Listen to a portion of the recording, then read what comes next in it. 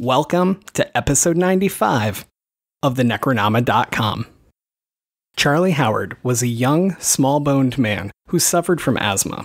He'd been small as a child and was bullied aggressively throughout his life for his stature and his sexual orientation. It was so bad Charlie didn't attend his own high school graduation to spare his family the taunts he often received. After a failed relationship, Charlie moved to Bangor, Maine, home of author Stephen King. Charlie was homeless until welcomed into the home of some friends he made. Charlie engaged in the community, worked hard for others, and found a place that he felt he fit in. Not an easy task for a very openly, flamboyantly gay man in the early 80s. But not all were tolerant of his lifestyle. Charlie was tormented by local high school boys, asked to leave a local nightclub after dancing with another man, and even attacked by a woman in a local supermarket. One day, Charlie found his pet kitten had been strangled to death, a clear warning from the less accepting members of Bangor's township. Around 10 p.m. on July 7, 1984, Charlie left a party with his boyfriend, Roy Ogden. As Charlie and Roy walked up State Street and began to cross the Kenduskeag River Bridge, a car full of high school teenagers slowed down. Seeing Charlie, several of the boys got out of the car and decided to give chase, shouting epithets. Charlie did not get far as his asthma kicked in. He fell, unable to catch his own breath. Pouncing on Charlie, the boys beat him and kicked him. One shouted to throw Charlie over the bridge and grabbed him by the legs. The others lifted him. Pleading for his life, Charlie grabbed the rail and begged them not to throw him in the river as he could not swim. Prying his hands loose, the boys pushed him over the side of the bridge, returned to the car, and left the scene. Charlie's boyfriend Roy ran for help and pulled the first fire alarm he came to on State Street. Around 1 a.m., local law enforcement found the body of Charlie Howard. An autopsy would show that he suffered from an extreme asthma attack and drowned. Returning to the party that they'd been at, the boys bragged about their encounter. The next day, one of the boys turned himself in when he found out Charlie had died. The other two boys decided to leave town on a freight train, and then thought better of it, returned home, and they were arrested. This event galvanized the Bangor community in very similar ways that the killing of Matthew Shepard did to the rest of the United States, although definitely never on the same level of national notoriety.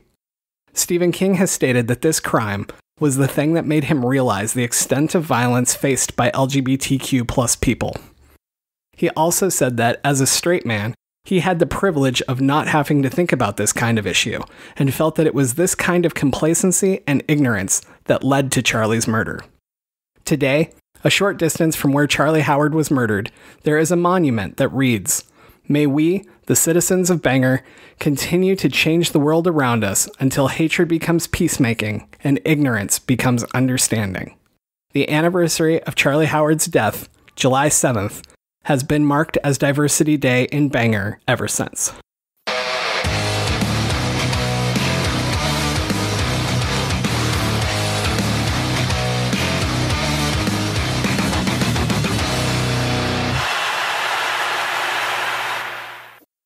I am James Sabata, horror author, screenwriter, co host of the podcast you're listening to right now. And if I had to pick one character to be in the movie It, it would be Georgie so that I could be done 10 minutes into this film. and I'm Don Guillory, author, historian, educator, co host of this podcast. And um, yeah, uh, I don't have any characters that I would uh, choose to be in this film, but I, I, definitely related to a few of the, the characters in this film. Um, but I'll leave it at that. Yeah, it doesn't seem like being black in Derry is a good thing, huh? No, no. I felt for Mikey. I felt for Mikey. All right. So joining us today, Dr. Michael Blouin is here. Welcome, welcome. Welcome to the sh- welcome to the show, man. Hey, thanks for having me. Glad to uh, be joining you both. Awesome. So, you have a book that definitely ties into what we're doing here today. So, I'm going to let you talk about that in just a second. But why don't you go ahead and let our listeners know a bit about yourself? Uh, sure. I am a uh, professor. Uh, I teach in a lot of different fields uh, at a liberal arts college. I, I teach um, about I teach film studies, teach some literature, teach some just more general humanities type courses. Um, but yeah, I have a long-standing research interest in the macabre. So uh, I've written and and studied horror film and horror literature now for uh, well over a decade, and um, just continues to be the the area that I'm most interested in uh, professionally and I would say personally. So yeah, I'm, I'm I'm excited to to be here today to talk about it and to talk about all things Stephen King. I guess within the big horror umbrella, under the umbrella of horror, I would say Stephen King is probably my uh, biggest touchstone, my my the thing that I keep returning to habitually, kind of like the people in it, just habitually cyclically returning to Stephen King over and over again. I can't quite escape from Stephen King, and so I'm I'm stuck in a loop with him. Uh, but yeah, I just find his work to be endlessly problematic and delightful in uh, equal measure, probably.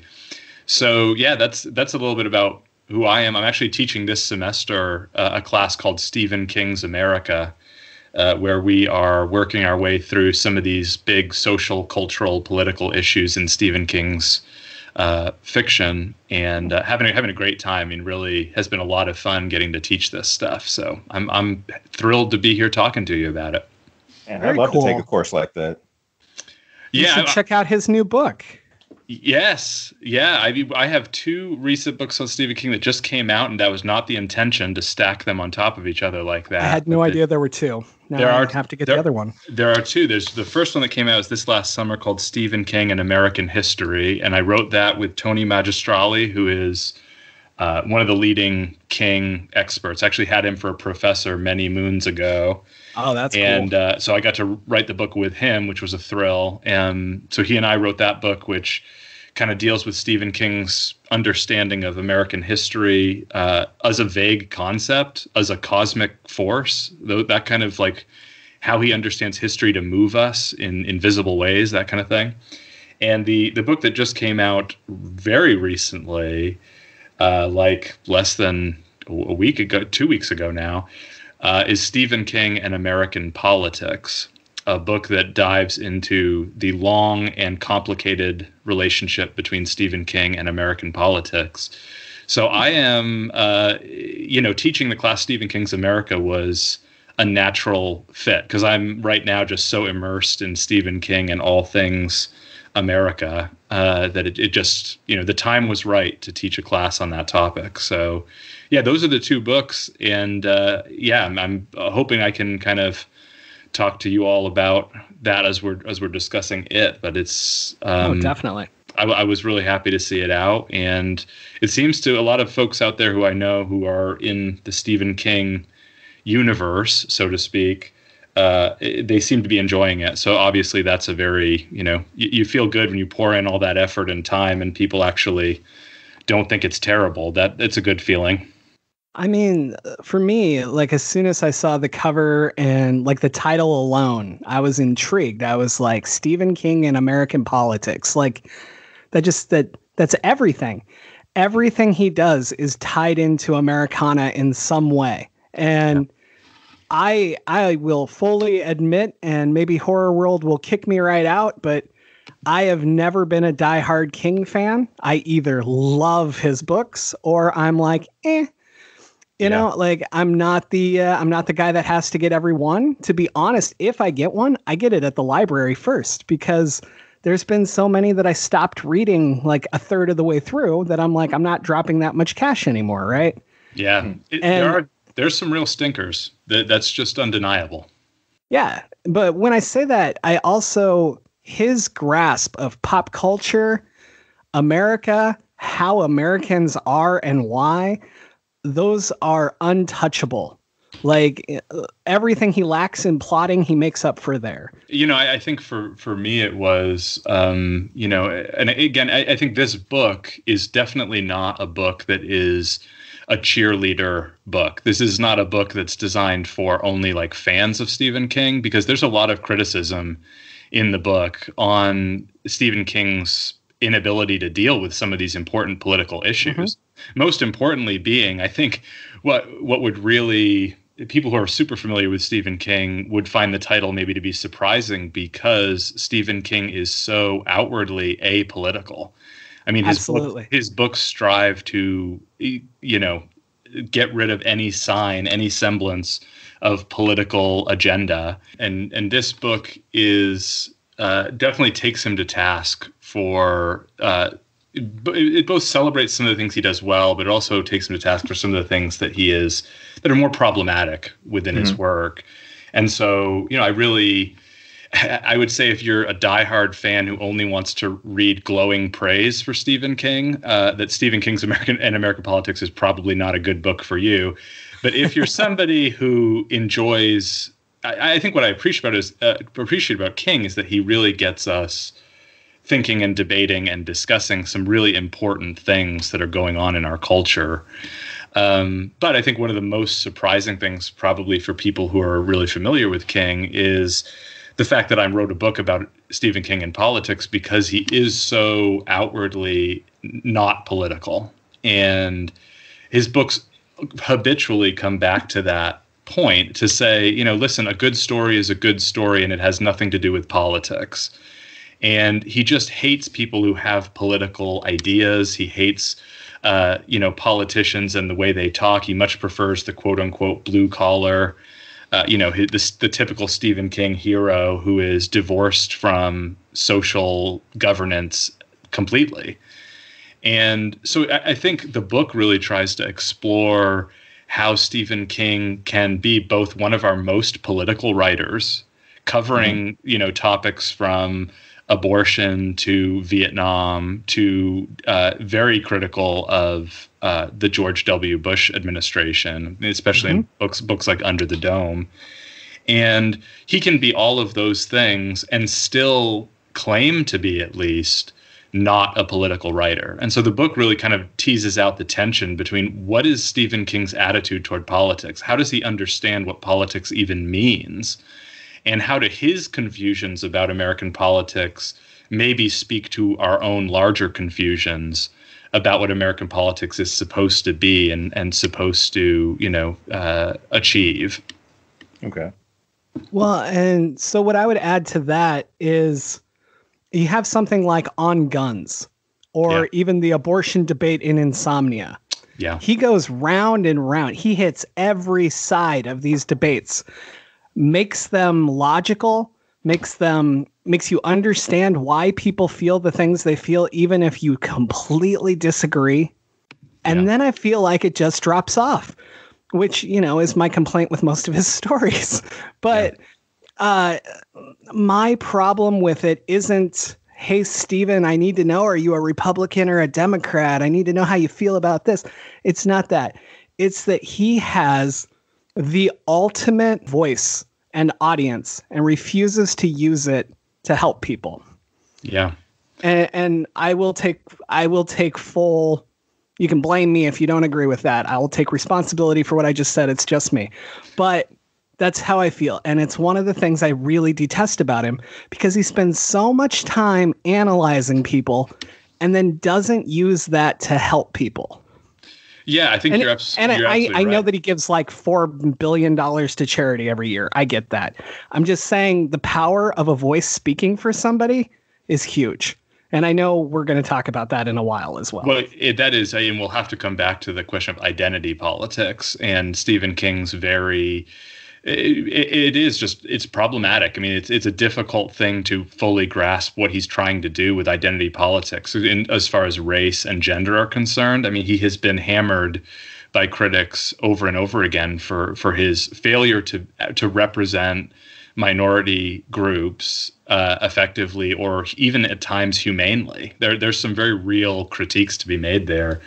And and I just think what's interesting for me is that King everything I, I read in King, I, I, try to connect back, and he does too, to the 60s.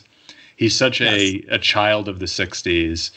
And for him, I think he all he wants is revolution against authoritarians. Uh, you see so many Nixons in Stephen King's uh, body of work. He, he's doing battle with Nixon over and over and over again. And on one hand, he wants revolution. He wants people to be highly individualists. I mean, be, really try to carve out your own unique nomadic path in this world without feeling burdened by community which is again i think a theme in it that we'll have to talk about. But the, the question of are we supposed to be connected to our community or like uh, you know a degree of removal from our community? That's a, that's an ongoing tension within Stephen King's work.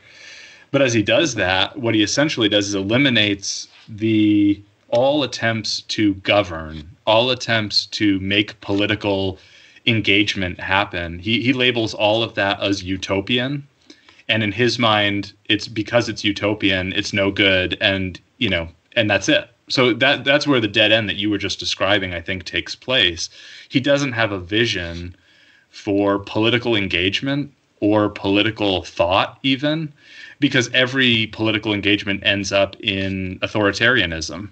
So all he ends up doing is retreating back into that lone white guy wandering in the wilderness.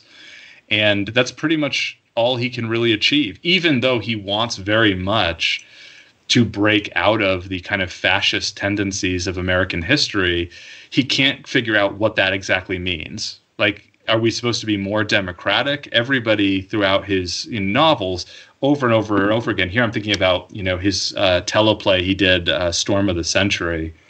He just and he does this you know so often. He, he just doesn't trust the people to make decisions. The the people when you let like the masses participate in the process of governing or the pro- the process of leading a community, it's always bad news. It always leads to some kind of bloodbath. It's always zealotry. You just you just you can't trust voters. You can't trust the public to be involved in uh, in governing the community. And and that's a really I think a pretty by now normalized attitude in American culture is like politics is bad and we should all just resist politics. But on the other hand, there's this anxiety, this kind of hand wringing about, you know, if, if we were to become more political, if everybody actually voted and actually became engaged, what kind of nightmare would we would that lead to? And I think Stephen King often imagines because people in his universe are not to be trusted. The masses mm-hmm. are gullible, uh, easily duped, um, and uh, so it's best to just like at the end of uh, the mist, it's best to just get in a car and drive and try to build your own society somewhere or in the stand even you know which again is coming around and is more popular today because of the you know recent remake or at least popular to talk about um, in, in a book like the stand there's just this knowledge that human beings every time they try to organize their society every time they try to build a government, it is internally not going to work. And it just collapses and leads to just wandering and just people alone wandering the world trying to make connections with very small groups of people. Like a, an ideal Stephen King community is like four people. It can't it, it, it can't get any bigger than that because his vision of American politics is extremely narrow which I think, you know, if you think about it, it really does tap into the dichotomy of uh, the kind of binary existence of living in America right now, right? Which is the fear of uh, authoritarians, the fear of you know populists. I mean, it does seem like his novel, The Outsider, is all about that fear, all about Donald Trump and the fear of fascism in America. But at the same time, uh, we fear what happens when too many people make demands on the government. The too like too many protests, too much involvement, too much engagement. What happens if everybody actually gets involved in American politics? And and there's this anxiety, especially for people who are trying to keep the status quo alive. This anxiety that there is such a thing as too much democracy. And so for me, it's that frisson, that kind of schism between those two thought processes that really characterize all of Stephen King's fiction. And that's really what the book tries to argue is that it's that tension between those two attitudes that helps us to make sense of why Stephen King so often disappoints us when it comes to political resolutions. Wow, that was awesome. I I don't I don't have a way to follow that. So Don, what do you got? I, should, I, was just thinking, I'm like, man, I should be, I, I should have like filled up three notebooks with with. we have it recorded. It'll be okay. No, it doesn't uh, matter. I have I have to take the notes. well, and I think it just it makes the point. Like uh, I would just say for all of us, whether you're a King fan or not, I, I just feel like that that debate is one that is the time is right for us. The time is right to revisit Stephen King on these grounds because right. we don't know what the heck is going on. Like we are we are clearly disoriented as as a society right now and coming at things from all different angles. I just feel like Stephen King opens invites us to have these discussions that I think are super interesting and super important. I want to kick over to the film, but to get there, I want to start with a little bit about myself. And then I'm going to ask each of you to do the same, although it doesn't have to be as in depth by any means. Um, I've never liked it. I didn't like the book. I didn't like the the miniseries. I don't really like the two new films. And and here's the thing with that though it still sticks with me. No matter what I do, I've been thinking about these films for the last week since I watched them. Anyone who was on Facebook or Twitter following me, I have been like live statusing what I hate, what I like, what doesn't work for me. And the conclusion that I came to happened because I was talking to one of my friends who grew up in the UK. And he says his problem with Stand By Me, which is my favorite Stephen King story, is that he doesn't relate to the kids. So I say, What do you think about it? He goes, Again, these aren't my rituals. This isn't how I grew up. These weren't things that I did with my group of friends. And I went, Holy shit, that's my problem. I didn't do these things. My parents had a business. We traveled every weekend. Every weekend, I was in a different state. At most, I would see like this kid I saw last year, right? I had friends, but they were at school. And at the end of the school day, we went our separate ways. During the summer, I might see them once if somebody had a birthday party. I didn't grow up with this. I don't identify with it. Um, the reason that I came to the conclusion that Stand By Me is important to me is once I got to about 14, 15, somewhere in there, that's when I got my core group of friends that I spent all of my time with. And I overcompensated. I was never alone. I'm an only child. I went out of my way to never be alone for like 3 years, right? And and Stand By Me really reflects that point of my time even though they're younger than I was. I feel like it the characters don't feel as old as they do in Stand By Me even though they're supposed to be the same age. And so I feel like I relate to one and not the other. And I noticed with it, I've always loved the adult side. I love how trauma followed them, how it infects every piece of their life, how it affects their relationships, their decisions, their careers, and how when they come back, all this shit they've either A, forgotten, or B, pushed down to hide and ignore comes flooding back.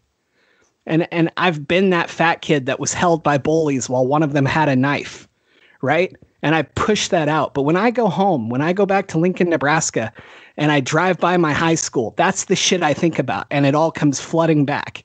And I think that that's why I've always identified with the adult side of this.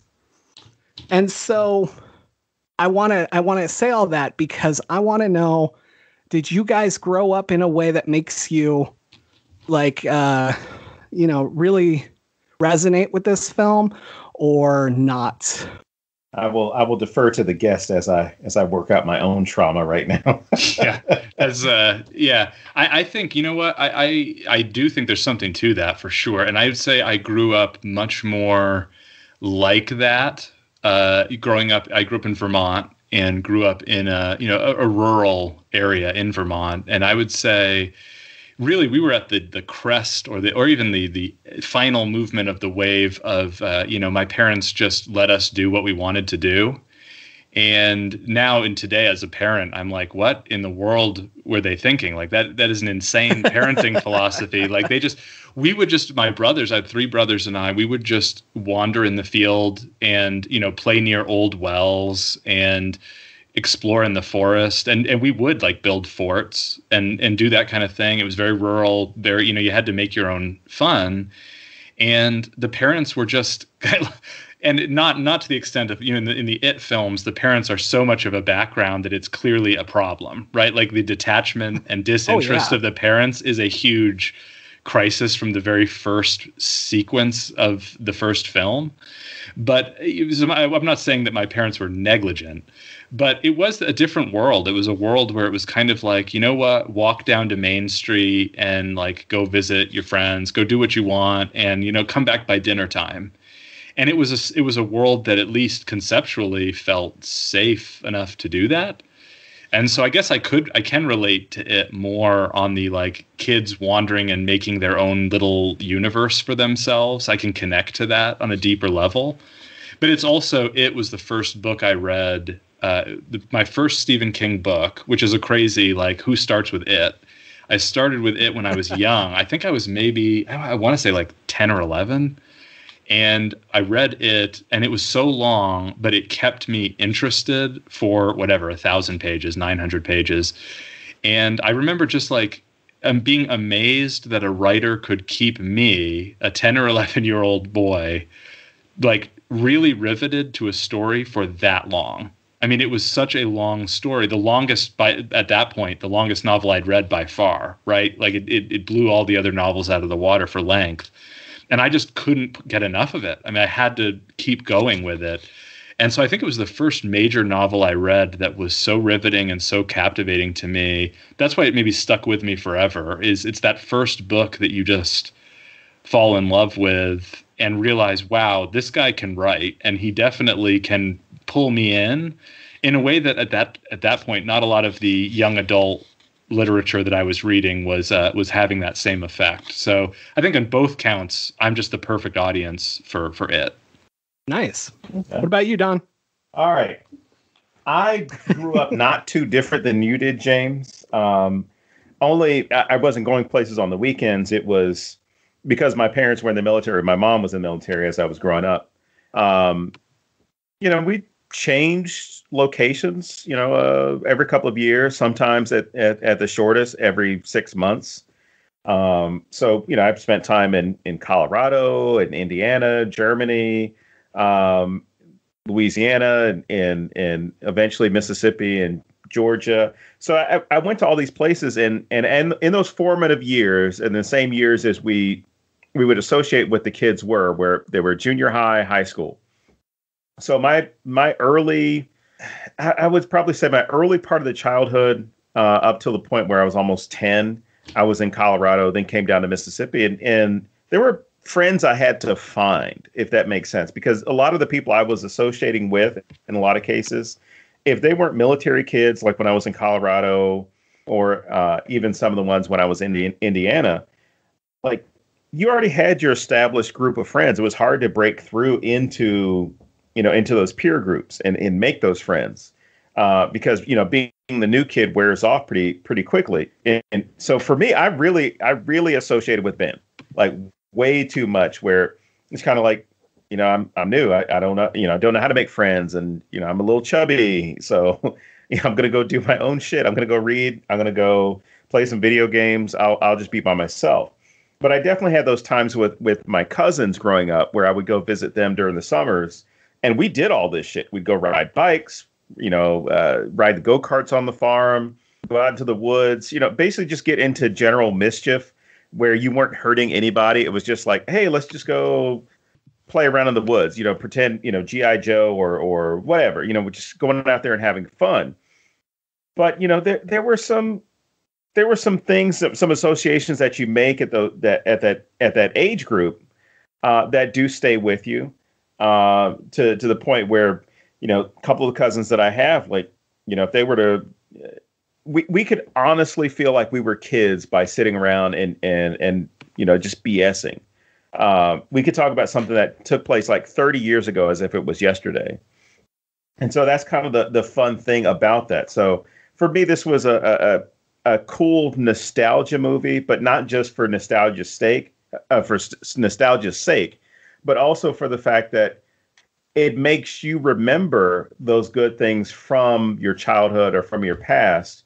And in a sense, they almost make you avoid the bad stuff, or at least the the tra- traumatic or terrifying stuff that you may have gone through. Which was a whether it was intended or not, it was a kind of a, a, a good thing as an audience member to get into, where you start focusing on all the good stuff, but then all this traumatic stuff happens to kids, and you question like, shit, yeah, there was that one time that this happened, or there was this one time where, in, my case in high school, where I ate the same exact lunch every day because I did not want to go to the lunchroom and have to deal with, you know, any of the bullies or anything that was going on. So I had a banana nut muffin that I picked up from Dunkin' Donuts every day of my senior year. I picked it up in the morning, and that was my lunch every day uh, my senior year because I did not want to go to the lunchroom, and I did not want to have to deal with being harassed or or, or anything like that. I just I either went to the library, you know, ate ate it on the way, or I went to the the journalism room and, and ate while I was working on the school paper.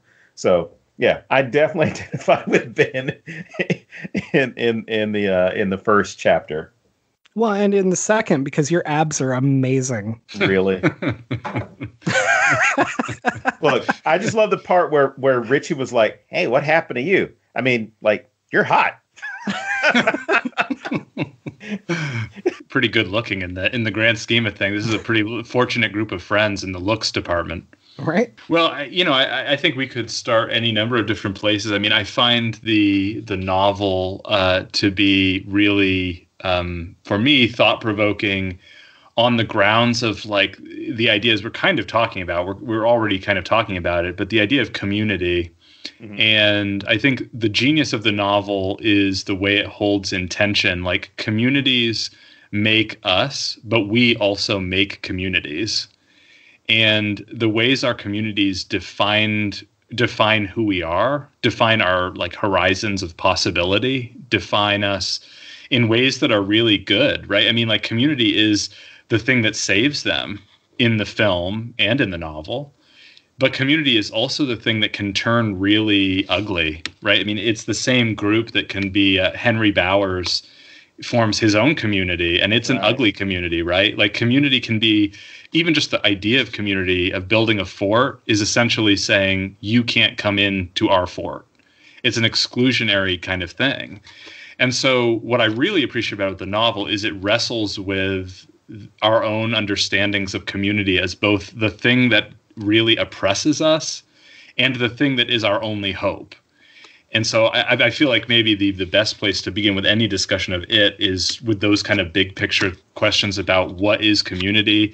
How do we understand our communities? How do we make them better? How do they destroy us and leave us, you know, uh, really fleeing for greener pastures? Um, I don't know. That that to me, that's the heart of every iteration of it on some level. Don, do you have anything you want to say to that before I begin my long rant? Oh, please. Uh, well, I would say, you know, with respect to community, you have the the the norms and mores. You, you've got the, the the expected behavior. You've got the the us versus them or us and the other. Unfortunately, sometimes with respect to community, what you see is people end up adopting too much of the community behavior or what the community expects out of them. And Richie, I, I like to use as a perfect example.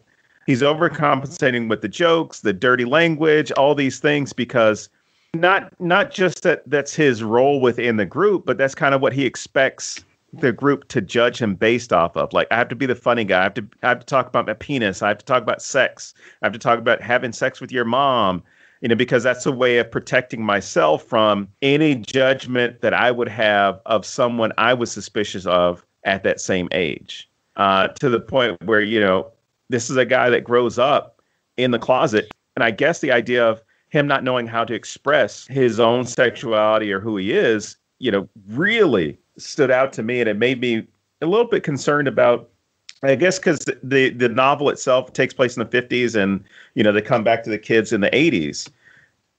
I I felt that at least in the movie, that aspect of of being comfortable with with oneself or in one's skin, I think it it, it would have been somewhat easier in the 21st century as opposed to you know the 1980s. Like I would have completely gotten it if it was if we did this movie where it was the 50s and the 80s and it was still someone trying to struggle and all the all the different issues that uh, uh, get brought up in the 1980s revolving around the LGBTQ community. Um, but then the, you know it, it's you're still going to have people even to this day. I mean, here we are in 2021. Uh, there's still people struggling with their their sexual identity and their their sexual orientation or their gender identity. Um, so I just I just think it, it could have been handled differently, but it does demonstrate to you how he doesn't necessarily trust his friends enough with his own identity because he maybe he fears they won't be his friends anymore.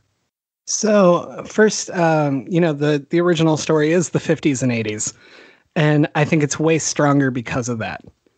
And uh, and I feel like they just updated this to cash in on the nostalgia of the 80s and the whole Stranger Things kind of feel and and uh, just everything that's happening, right? And I wouldn't have a problem with that if I felt that everything had been updated to reflect it. But I feel like they moved ages, or uh, not ages, decades, and then left everything the same. And and I think that that comes through in what you just said. Like you you felt it was weird that you know Richie can't do this when it's 2021. You know, and I'm not saying it's easy for anybody, but right, right. It, should be easier for him than it is. His response feels very 80s to me. Right. And uh, and and I have a real issue with this shift because I feel like they didn't work hard enough to make it happen. With that said, I want to go back to communities for a second. Um, when I said I had a big long rant, that isn't really true, but there's a book that changed my life. It changed how I view everything. And um, basically, it's about communities and how they're not real. It's called Imagined Communities and it's a Benedict Anderson. This book is the book I didn't want to read in college. I was like, "Oh my god, what is this crap?" And and I preach it constantly. And the thing with uh with imagined community is Anderson basically depicts that the nation is a socially constructed community imagined by people who perceive themselves as part of that group. I would argue that's bigger I use this argument for religion. I use it for uh, cities, towns, communities, uh, groups of friends. At the end of the day, the shit's made up. Somebody decided this is the border of Nebraska. Let's make it weird looking. Somebody else said my state's gonna be a square, right? Like, and and none of it's real. And when we talk about evil caravans coming from the south to cross an imaginary fucking line, right? Like uh, we invest so much in these ideas and we want to be a part of this thing. And and the way that this changed my life is I really started looking at how the rich have always used these imaginary communities to control us. And then I took that further and I started thinking about how we don't want to be alone. Right. So we seek out people like us, right? So now we have a large group of people like us. Well, so in our group, we're like, but not those people. And we find a reason to section off half of them. And then we're like, oh, and we're different than these people because of this. And we just keep sectioning until we're fucking alone again. Humans are weird. But it proves that these communities don't matter. It doesn't matter if we're all Americans because we break it down by oh you're on the left and you're on the right and you're this and you're black and you're white and you're whatever. And and it just makes me wonder what the hell a community is. And the only thing i can figure out is that it's just this agreed on thing that we're not going to be alone. And so i want to know what you guys think of that yeah i think uh, the the novel, and this is why you know I think the novel for me over the years has also I've gained appreciation for it because I think it handles these matters pretty deftly, especially in comparison to the films, which I just don't see the same level of attention to some of these details. And, and admittedly, they can't do it. They got a thousand pages to cram into a you know an hour and a half film. It's a little difficult to include all the details, but in the novel you know, I, I, think King is really interested in, in just what you were saying. I mean, where, how do we invent communities? How are communities these fictional constructions? And in this, in the novel, King does this sort of, you know, postmodern meta thing where he's trying to say, we tell each other stories and storytelling becomes the real root of their community. And, it becomes the thing like they have to get together and tell each other these stories and it forms this imaginary community. Just like benedict anderson wants to talk about newspapers and, and all of the you know like the uh, mass printing press operations. He wants to say like the the the inauguration of those things really uh, brought us into what we now know as like nationalism. It brought us these borders that we hold to be so sacred. And on one hand, I really feel like King in his novel wants to explore is that a good thing or a bad thing? And we have to remember, and I think that the film sort of gets at this, but a lot of what they have to do, they have to do alone. And so the film gives us the kind of like we all have to hold hands and sing kumbaya and be a community, but it also tells us we all have to strike out on our own because that's how it finds us first. And we can't do it until we face it in, in as individuals. And so for me, like it's this really interesting interplay between the desire to be an individual, which means facing our own demons by ourselves, which means getting the hell out of Derry, to be right. frank, to be which means yeah. like I got to get out of this town and dust get its like dust off my boots. And at the on the the same uh, like as part of that, it also defines us in a way that we cannot escape. In the novel, Mike, and again, this would have been so much more interesting if Mike had been handled not just as uh, you know the the son of drug addicts, but had been handled more like from the perspective of race. If the if the film had really tried to take on the question of race more seriously, I feel like Mike is really interesting because when they come back in the novel, Mike says, "Do you know why you're all rich and famous? It's because of what happened here. Your yeah. your achievements are not your own. The things that made you rich and famous didn't come from you and your own individual chutzpah. It came because of this community and so you can't take the privileges that came with you without taking the responsibilities. Right. And so for me like it just opens up this big comp- like interesting complex way of saying like it does my community imprison me? And at times it feels like it really does? Or is my community something that i can invent? And even if it is fantasy or fiction it's a way of building something better right? It's building a fort that we can all share and not be afraid and so I, just love the way the novel does not really stick with one or the other. It, it forces us to wrestle with the dynamic nature of all of it. Uh, and the film, let's just be honest, I mean, at least from my vantage point, the film just scratches the surface of that stuff. It just doesn't, a lot of that does not translate over. And one of the main reasons why in the second for me is when um, they add that subtext, not even subtext, of this oh out in the open text of you know what these people uh, if you don't kill Pennywise, you're going to die prematurely. That the subtext of like you have to kill Pennywise or else you all are going to die premature deaths and it's going to be gruesome. That's the reason they all stick around in it chapter 2. But it's like that's not really in the novel and it kind of weakens like don't you care enough about young kids and care enough about just general humanity? Do you really need that extra motivation to want to save yourself in order to come back and, and save these other people? It, it gets rid of all of the broader sense of social obligation and just basically says, you need to come back and save yourselves. And in the end, it co- totally gets rid of the idea that they would be doing something noble, like maybe saving a stranger. Like maybe you should come back because even if you don't know these people, you should want to save their lives. Uh, but all of that gets gets gone in in the films, and it, it just boils down to you know save your own hide. Yeah, and I think Bill is the only one that I recall who who makes a comment about like, oh, we need to stop this from happening. I mean, Mikey definitely says as well, but it seems like it hits Bill, especially when he goes back in in the film, when he goes back by his house and runs into the same kid that was at the restaurant, and realize he tells him like, "Hey, I don't care what you have to say to your parents," and it makes obviously makes no sense to the kid. Makes perfect sense to Bill.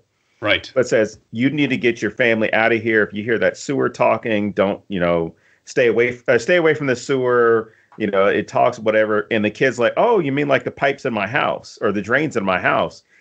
And it clicks in him. He's like, "Oh shit, this kid has been visited by him already," and you know, he's he's you know, in lack yeah. of better term, he's he's grooming him. He's getting him ready.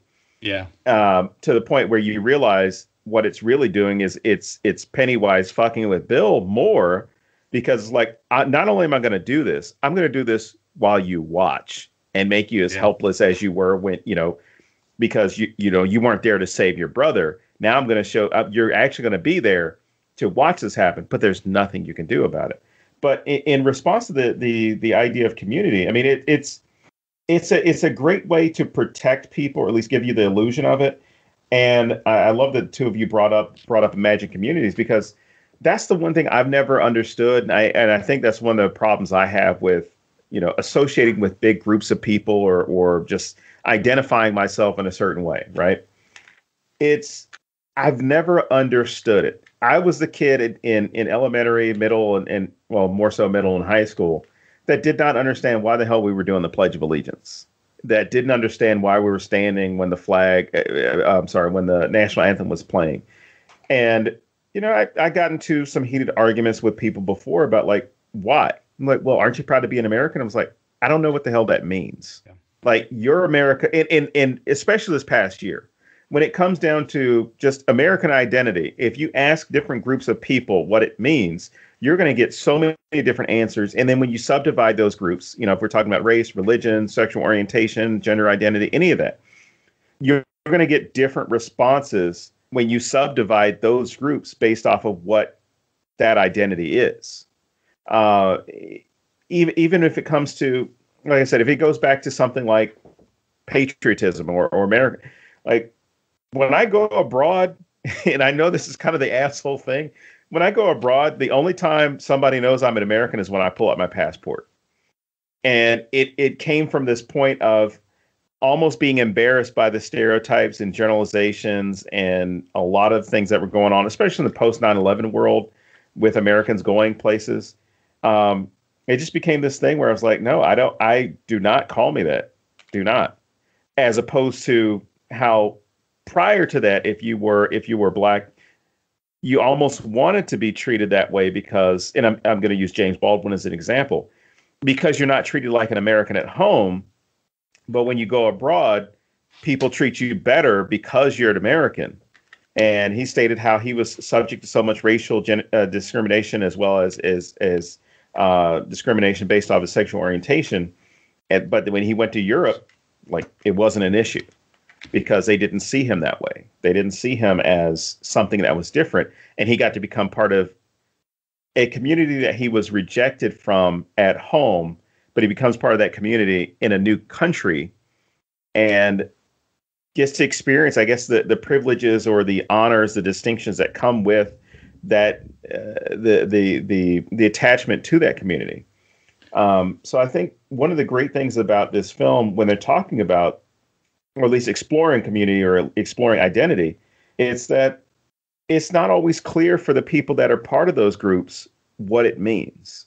You know, when they are the losers or create that group known as the losers, it you know there's somewhat clear and defined rules about who they are and the fact that you know they all suck. There are people that don't want them around. You know they found this this bond between each other.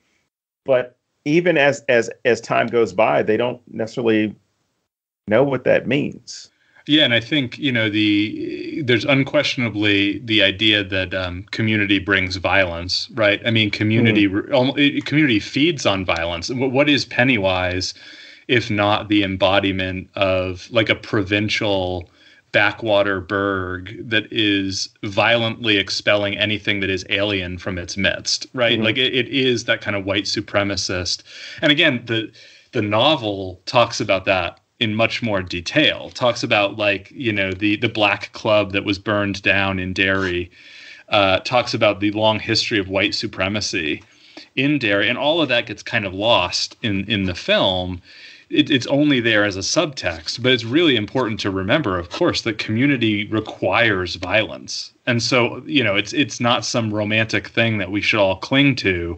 Nostalgia can be toxic because it's like, man, our communities are just these fortified, uh, you know, areas that that block out people who might need our help. But also, I think in it there is this focus on infrastructure, mm. and the fact that we spend so much time in the sewers and the barrens uh, of Derry, and also in the public library. We spend a lot of time in places that are supposed to be like public common space areas that are built up to help to provide resources or, or distribute resources a little bit more equitably among members of a community. The, the ways that we have built communities to protect each other and to supply us with things like water and, and sewage and, and so on and so forth, with, with education, with you know the library and all of its uh, information that it has armed Ben with uh, and prepared him to go to battle. I mean, if he wasn't spending so much time in that public library, they wouldn't have known what to do or even what was happening. Right. So there is that, I think, positive view of community. It isn't just like a total pipe dream. It isn't just them having like the blood brother ceremony with each other, uh, which all gets kind of silly and you know uh, over the top.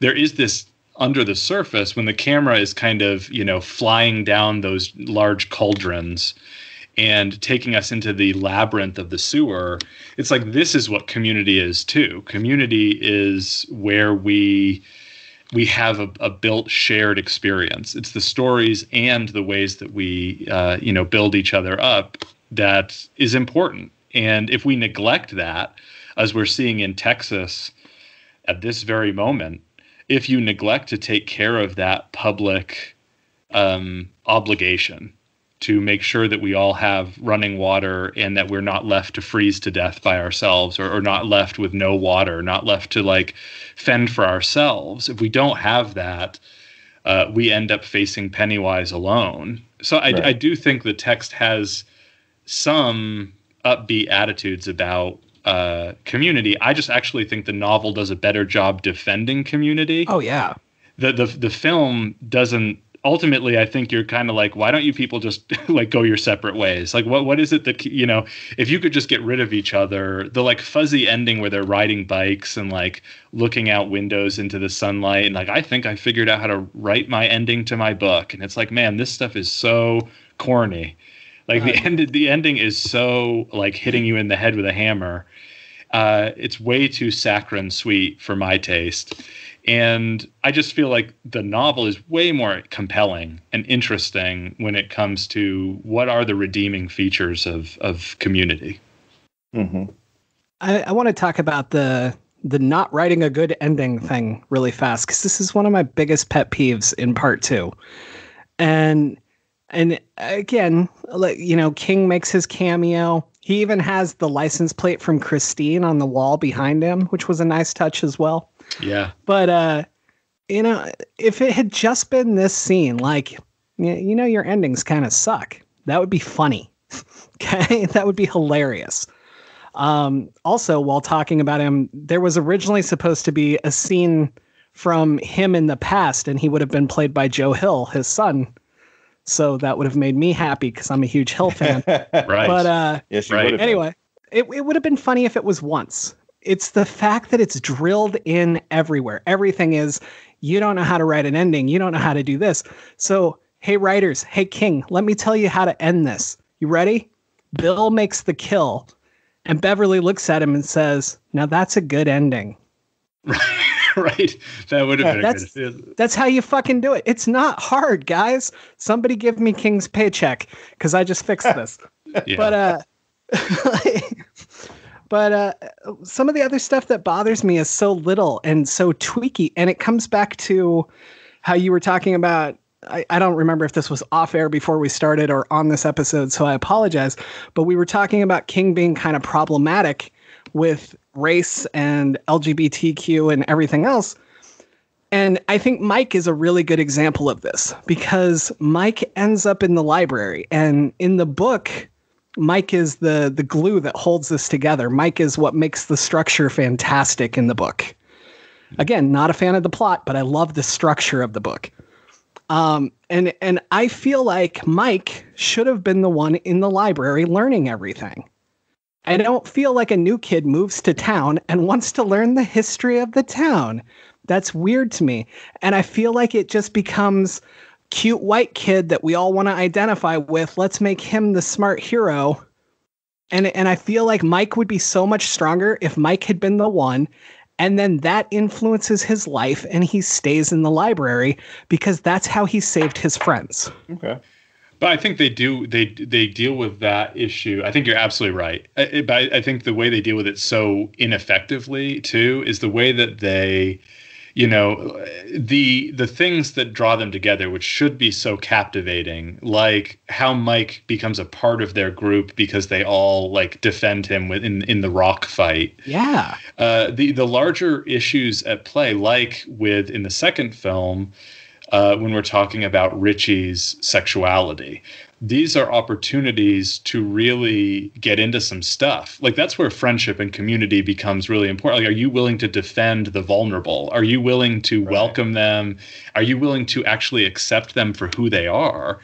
And yes. instead of instead of digging that should in, be the end. Yes. Instead of digging into that, they really just like do it lip service and strip away all of the complexity and depths of these characters and leave them just kind of like fulfilling token roles. And and so I just never he doesn't end with like this big here's how we deal with disenfranchised people in our community, here's how we welcome them, here's how we get stronger. It just never can never reach those heights for me because it doesn't do the work. It, it doesn't put in the effort to make that thing pay off. I just I really believe that them confronting their fears to each other should be how you beat it. It should yeah. be that absolute support system for each other. Like, we know you're gay. Maybe we don't know who you're in love with. Maybe that's the big reveal, right? But we know you're gay and we love you for it. And that's great. And we know that you lost your parents and we love you. And we know you were sexually abused and we love you. Yes. And those fears and that support should be what beats it. And instead, the message is you want to beat a bully? All you got to do is be a bigger bully and bully the bully to death. Right. Then, when he's a little tiny baby, when he's the most vulnerable, reach in and pull out his fucking heart and squish it. yeah. It what is. The it's, fuck kind of message is that? The, the logic, the logic is from Mike when he's slaughtering the lambs, right? Like, don't be the the one who's slaughtered be the one who slaughters and you're kind of like okay so when in the movie is that logic going to be debunked but it never gets debunked because as you're suggesting that's actually the like that is actually the message of this movie like become the one who slaughters don't be the one who gets slaughtered yes. that's ultimate and that's a very troubling conclusion and i don't think that's the conclusion that the novel had and i don't think it's a conclusion that any of us would feel super comfortable with but let's just say this like for me here's why i think the ending thing if, if you could and there's a lot of meta horror stuff. We can talk about the many references to other Stephen King plots. Of course. And it, it becomes this, like, which all Stephen King adaptations now are like these meta commentaries about other Stephen King films, yes. which can get kind of tiresome. Like, okay, we're in a horror movie. I get it. There's a lot of meta stuff. Okay, so th- there's a lot of that here, and I and okay, that's that's fine. I'm not, you know, it's not necessarily doing it for me, but I can see why some people might appreciate like the references to Carrie and to The Shining and all that other stuff that's coming up. Um, but ultimately, I think the message that is effective is we never really truly end this, right? Like you never actually end your fears. It's kind of that whole logic of addiction itself. Like you're never yep. cured of addiction. You just simply try to handle it. You're just like always doing work with yourself and with your people to try to just make it, right? And so to me, the idea that you ever kill it is stupid. You're never going to kill yes. it. That that like defeats like the idea that you just be like you're all grown up and so you don't have fear anymore. That's ridiculous. It's ridiculous. and like like every 27 years it's going to come back, right? And so instead of trying to resist that and to say let's try to put an end to it so the audience will be happy, how about you let that be part of the message? The fact that like you need community for exactly that reason. It's going to keep repeating itself. Like you think you've got your stuff handled, but next year maybe you won't. Next year there's a pandemic and you're staring out the window into the void and you're like, "Uh-oh, I don't think I have my stuff figured out anymore and we all like that's an ongoing project that doesn't ever end and so i don't know for me i would have felt it to be much more effective if it just realized like the need for happy endings or the need for satisfying endings is a contrived need. We don't actually need it to end. We we can just be okay with handling our business together and just staying in touch and and trying to deal with it on an ongoing basis. Like why why would that be a bad ending? God, that would be so good. Is, I would like this. I think the problem is, and I, I've I learned this from some friends of mine years ago who were international students or, or, um, or just, and some of my friends who watched a lot of just foreign movies, especially when it was horror movies. They said that the the happy ending thing is is something that has just been so ridiculously used and overused within American films, whereas mm-hmm. a lot of foreign films the you know a lot of endings are ambiguous some are bad some some are happy but it doesn't become a trope where oh the killer's dead yay we can go about our lives and and and i have to agree the the the idea that in the second film you get an understanding that the further away that they had gotten from Derry or just getting out of Derry all the the the the members of the losers club besides mikey of course because he stays they've all forgotten what took place until he calls them and then there's kind of like oh shit i feel i feel scared. I feel some fear. You know richie throws up. And you know the people that are with him think it's like pre-show jitters but it's it's he's he's feeling all you know it, subconsciously there's something there and as they return they start to remember things. And and that one uh, line that always sticks with me is like i'm remembering stuff that i didn't even know i forgot.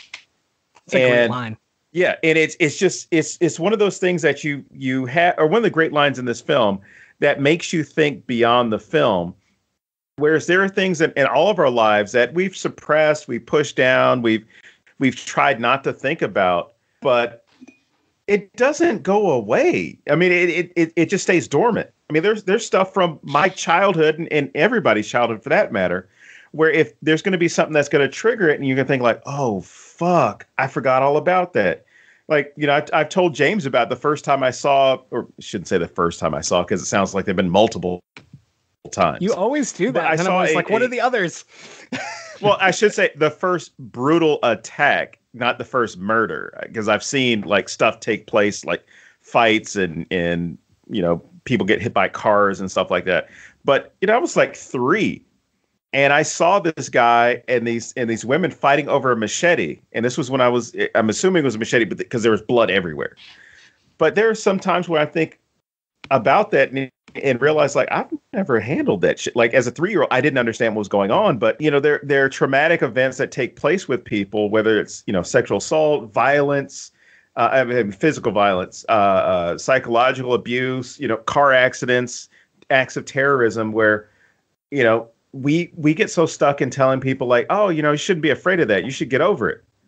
It's not possible. Like, how are you supposed to get over something, a, a traumatic event that had such a big effect on you? Uh, uh, you know, besides you know suppressing it with medication, therapy, things like that. I mean, it, it's treatable, but, but fear's not curable. Yeah. No, I mean that, that I think that's the that's the take home message I think of, of it. I mean, or it should be. It, it's not the message, but it should be. Is, is that fear isn't curable? I mean, I, I like I like phrasing it like that because there there's no world in which you can purge yourselves of what it represents. Right. And the only thing you can do is build up an infrastructure, an emotional, intellectual infrastructure, which is like every generation forgets that generations have been through this, right? Like it's happening right now with COVID. It's like this isn't the first time human beings have ever dealt with disease. You know, you know, there's been pandemics mm-hmm. throughout history, right?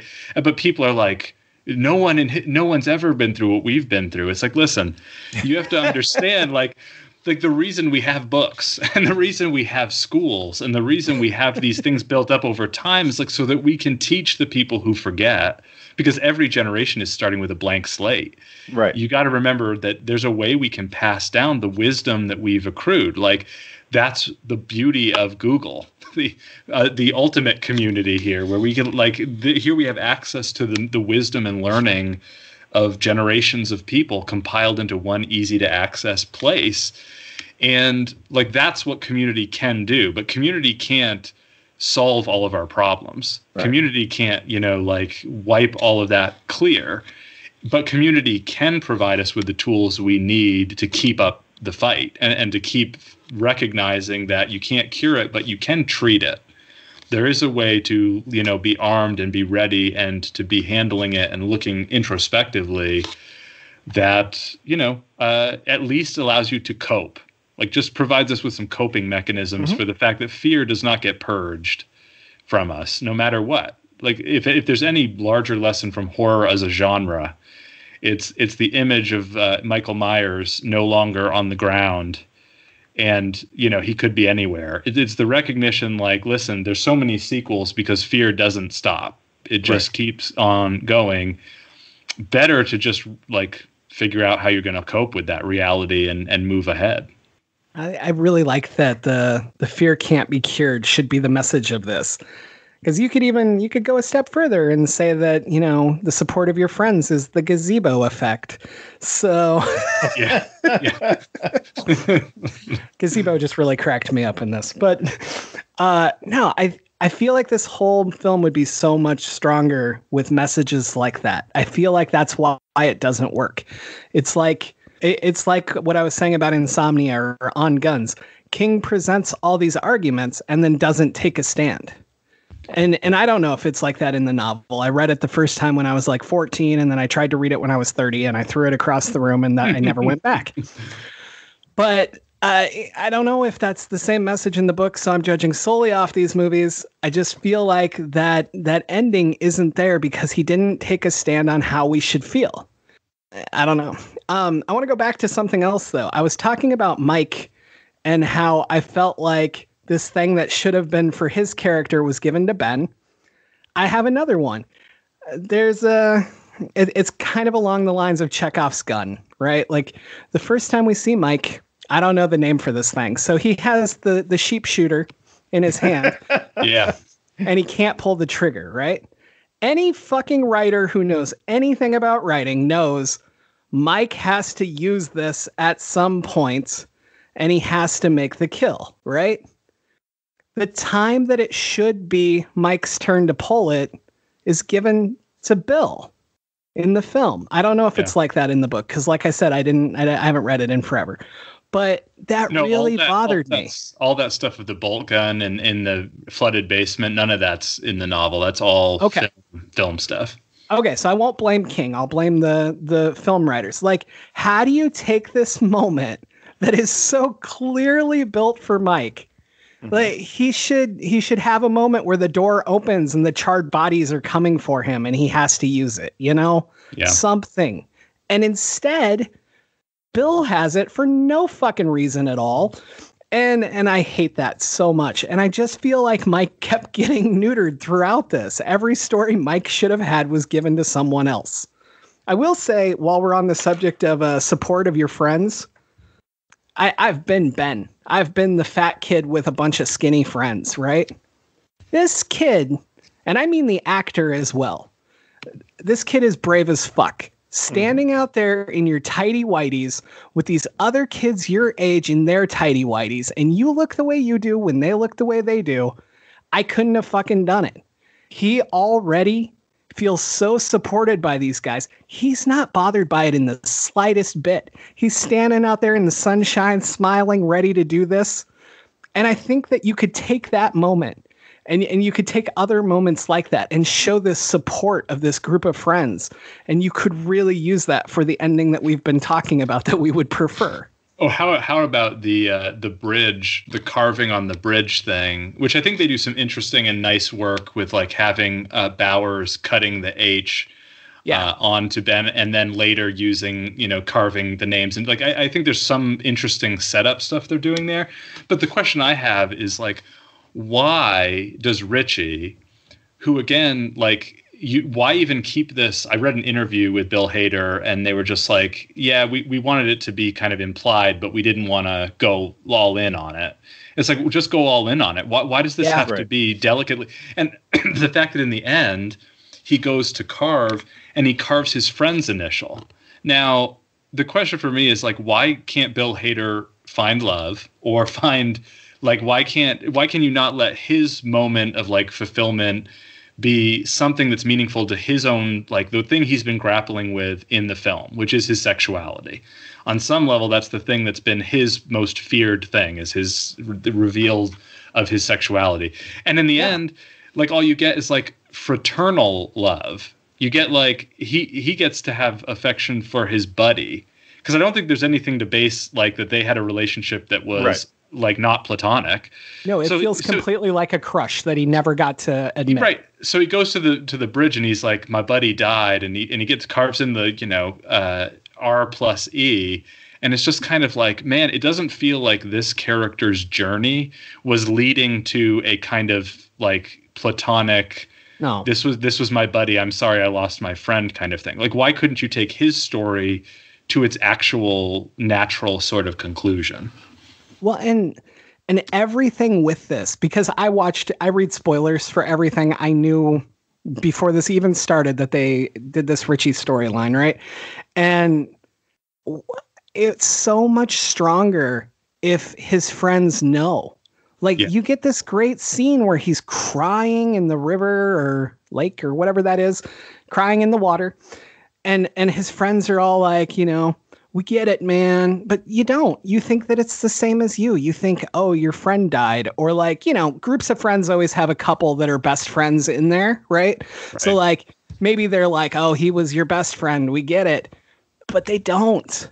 They yeah, don't right. get it. And if he had had to come forward with his fear and confront it and be supported by them, if even if like as uh, Eddie was dying, if he had confessed it then, like, I love you, I've always loved you, like, you know. Yes. Something like that. And everyone else heard it. Like, even that would make this moment where they're all holding him so much more powerful. This, this is like, I think to me, that's it. Like, that's the, that right there is encapsulates the biggest problem with the, the film adaptations is it's just like, you could have instead of uh, going for laughs and have Eddie's wife be the same actress that played his mother, right? Oh and like God, yeah. and like okay, haha, like that that's a, a short one-off laugh. Instead of doing that, how about you do explore the relationship between Eddie and Richie and make it something that is meaningful or substantive? Like give them something to really cry about. Give them something to re- like, but they're so afraid to do that. and again, I think I'm really interested in the fact that why this film is so hesitant to face the in, the demons like it's guilty of the thing it's supposed to be criticizing because it will not face the demons that it's just teasing to the surface right like it won't face racism with mike it has to turn mike's issue into his parents being drug addicts it yep. has to take uh, richie and turn him into you know something closeted but really never explicitly making that clear never adding the never making those stakes real in a human way but making it a very like lip gloss kind of like okay we talked about sexuality. It, it was there in the subtext. You can't blame us. So how about you make these characters more three-dimensional and give them more kind of meat on the bone here? I, I would have really liked that if they could have explored those characters in greater detail. But so often, what they went with instead is the laugh. I mean, instead, what they would go, they're happy to go with is Eddie, and like, isn't it funny that his wife is his mother? Right. Like all of that kind of stuff. Eh, they just always prefer the cliche over taking a risk, which is weird because it's a movie all about how people have to take risks to form communities, and they have to like you know put themselves out there and make themselves vulnerable. And here, this film will not really will not really go to war against the things that it's talking about. And so it ends up being a very neutered and, in, in my opinion, just kind of weakened story as a consequence of that. So I, I feel like if I was writing this, you know that scene where Beverly and Ben are together and and she starts telling him I could never love a fat kid like you and and she's Pennywise, right? And that whole scene, I would do that with Eddie and Richie instead. I would have the two grown adults walking somewhere and all of a sudden Eddie's like, "Are you looking at my ass?" And he's like, "What? What?" And he's like, "Are you are you looking at me? Like what's wrong with you?" You know? And like I would have used that and just hit that Richie fear. Yes. Like, I would have capitalized on it 100%. But like, I, I would have cashed in on that 100%. And that's so much stronger than anything they did. And No. even if you, like, I don't know, even if you if you didn't fully uh, show everybody, it would give it to the audience, and then that subtext would affect everything else. The the film is is more than happy, right? They offload that to Henry's cousin, right, Right. in the video arcade, which is kind of like again, why don't you give this thing some teeth, uh, as you're Yeah. suggesting, James, and let it be one of the relationships that matters in the movie, but also the the way that the movie is willing, and I guess this is maybe a larger commentary about Hollywood generally, but the the film shows absolutely no hesitation to show in graphic detail the maiming and murder of children and disenfranchised minorities. It has no qualms with showing a very bloody and brutal attack on a gay man in the second film. Right. The camera's willing to like go all in on that, but it can't go all in on the Richie sexuality. It can't it can't let him say the word "I'm gay" out loud in the in the film, but it can show Adrian's face like pummeled and covered in blood. And it's just like you don't understand the way in which this film has perpetuated the thing it, it is most fighting against. Because it is totally leaning on cliche and violence, the kinds of symptoms of, you know, a, a diseased society, and is not willing to escape from that, which would be to have these people actually make themselves vulnerable to one another and then protect each other on those terms. But instead, all they get is cookie cutter 80s nostalgia friendship, which is just where we cleaned up a bathroom together. and like, and that suffices for like, what is their main bonding as, as people? It is they all helped her to clean up her bathroom while a song from The Cure was playing. Like that is that's the extent of like this is how these friendships became solidified. So I just think it's it would be more interesting to me if these were not just caricatures of teenagers from the 80s, not just like, you know, when Eddie calls uh, Bev Molly Ringwald, like instead of making this a, a derivative thing from 80s teen movies, really really give it some stakes. Like make these people have relationships with each other that evolve over time. And, and I think it would just be more successful and we would care more. We would care more when one of them was endangered or we would feel higher highs when they, you know, bail each other out if these relationships actually meant anything at all. Going back to R plus E on the bridge, how cool would it have been if during the kid part, during the the second movie, we keep seeing R plus E anytime anybody's on the bridge, and at the end, Richie went back and carved their full names. Right. Yeah. Like That would be- that that would be would good. mean something. Yeah. that, would, that would be good. mean something. You know, like yeah, Yeah. Anyway, sorry, Don. I didn't mean to cut you Oh off. no, no, that's fine. Um, but but yeah, the, you've got at least you know you, you talk about the violence uh, towards the the couple at the beginning of, of it chapter two. Um, but yeah, they're e- they're equally.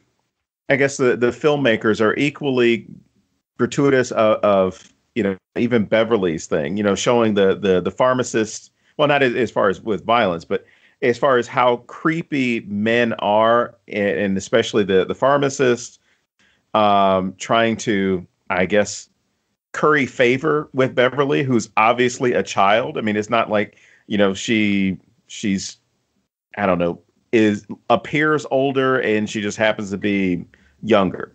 You know, where he's like, "Oh my God, I didn't know you were 16, 17. Oh, I'm so I should have never said something like that to you." She's obviously a child, and the and the pharmacist is sexualizing her roughly in the same way that her father is. And it's it's I, I thought it was something good to explore, and I'm glad they didn't go too far with it. I think it was fine as, as far as the, the level of, of of inappropriateness was there for you. You saw how creepy the the the pharmacist was, and it makes you think about how creepy men are in general, uh, as far as boundaries with women, or in in the case of this pharmacist, how how creepy they are with the boundaries of children, uh, to to present themselves that way or think it's okay to talk to a child in a sexualized way. Well, yeah, I Uh, mean, and, and what does it say that the film was more willing, I would argue, more willing to flirt with the boundaries of child molestation, Mhm. which happens with multiple characters, more willing to like go up right to that line than it was with LGBT issues. Like it, it's it's more willing to do that than to acknowledge that this is you know that actually like look at the face of what sexuality means uh, in a healthy human sort of way here or to talk about like systemic racism or any of those kinds of things rather Right. than like really lift the the gate and show the ugliness of Derry it is much more comfortable like the just general creep outs right? The the cliched creep outs. And is more comfortable with, frankly with showing children almost being molested than it is openly speaking about some of those social ills that are clearly there right? There- there's so much mm-hmm. there for them to do with it and they just completely repress it. And in the end we don't get to deal with any of that stuff Yeah, the only thing I, I would I would say that they do, or at least with, with Beverly's character, especially when you know Jessica Chastain is is assuming the role, that they kind of allude to how the abuse of her childhood leads to her being in an abusive relationship or abusive relationships, and I. I, I watched it again yesterday, and I don't think there's ever a moment where she handles that other than, you know, beating up her husband or her then husband, who is who's obviously been abusing her but beating him up so she can leave. Um, but there's there's no other empowerment where it's it's like I need to th- I need to think about myself or take care of myself. Even you know we want Ben to get the girl. We want her to end up with Ben, but there should also be that moment where she kind of thinks like, or at least faces that issue, uh, aside from you know the the trauma that her father caused. But I, I would have loved to have seen further exploration of, of, of Richie and Eddie. Yeah. Uh, but I think the problem that, that that the filmmakers may have been, I guess, thrust upon them is that fear of, well, what if we get it wrong? And I'm of the I'm of the mindset that if you get it wrong, you at least did something. yes Here it's you didn't do anything. take Like, a, you- take a risk yeah Yeah, I mean you could have There- There's got to be someone you could ask. Hey, Well, did yeah, we get this it- right? Yeah But even then, even then, sometimes the people that you ask might have been wrong about, you know, how it's presented. Where you know, you and I, James, we talk about, we run ideas off each other with with with respect to things. We talk to people uh, periodically about, you know, getting things better represented, and then sometimes it's, you know, well, don't worry too much about that. No one's really going to see it that way. Oh, don't think about it this way because then you're overthinking. And you you might end up making a trope or or a character character generalization. And at the time of when this film would have been released in, in what 2019, if they'd done Yeah. that, maybe in five, ten years from now, somebody would look back and said, no, they could have handled it handled it it better, as opposed to now where we're already saying you should have done something. You should have Yeah. shown some aspect of uh, of Richie or even Eddie.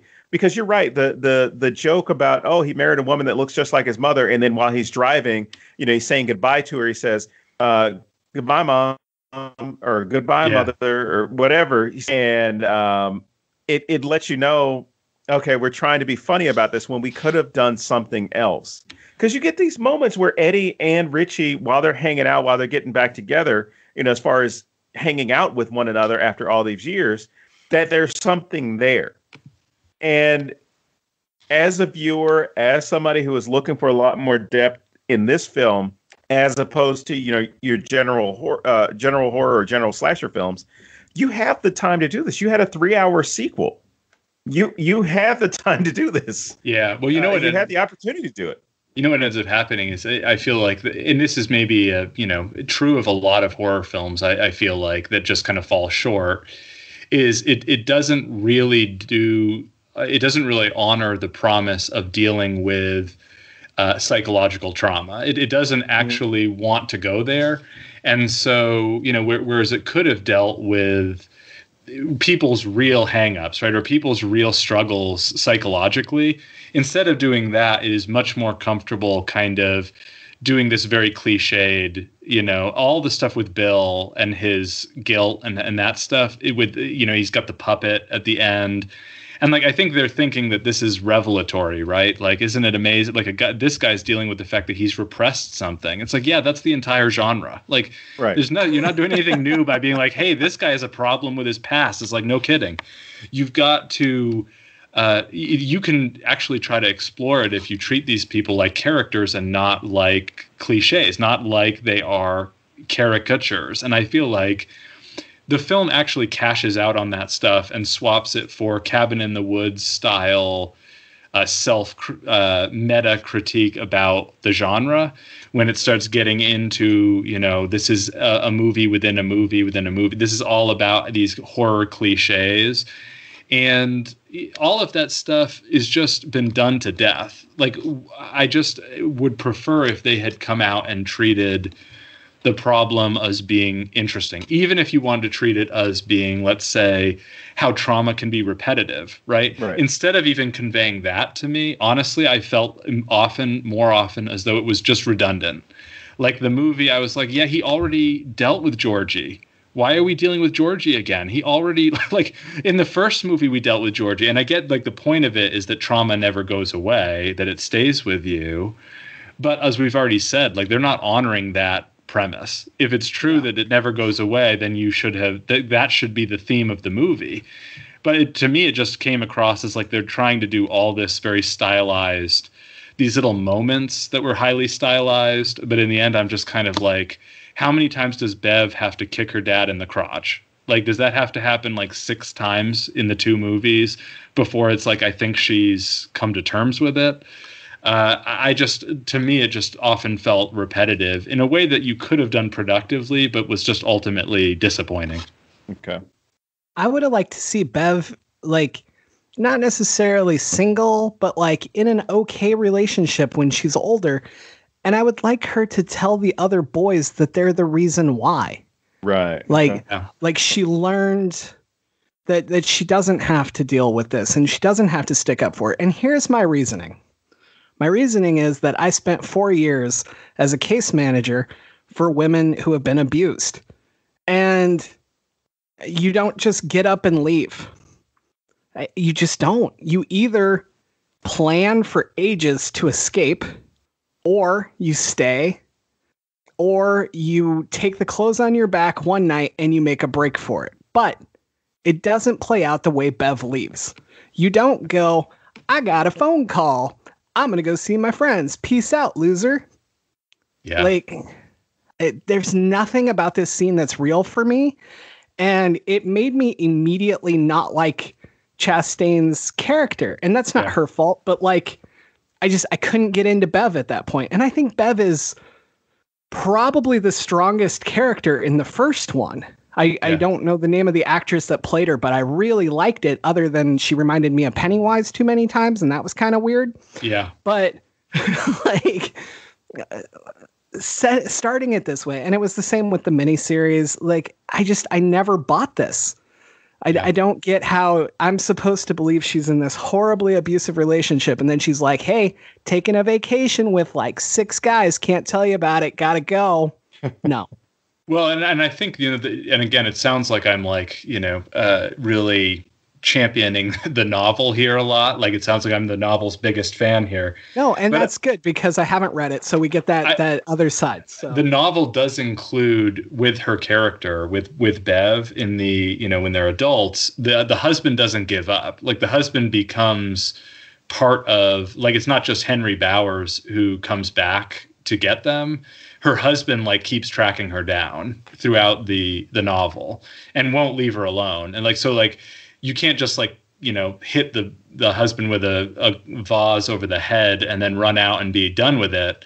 Like he, he's like he, well i guess she's gone. He becomes like the the most terrifying you know he's like perpetually haunting her right? Like you you can't just leave your abusive husband and think that he's like and not be afraid of him finding you not be afraid of him like you know he he persists.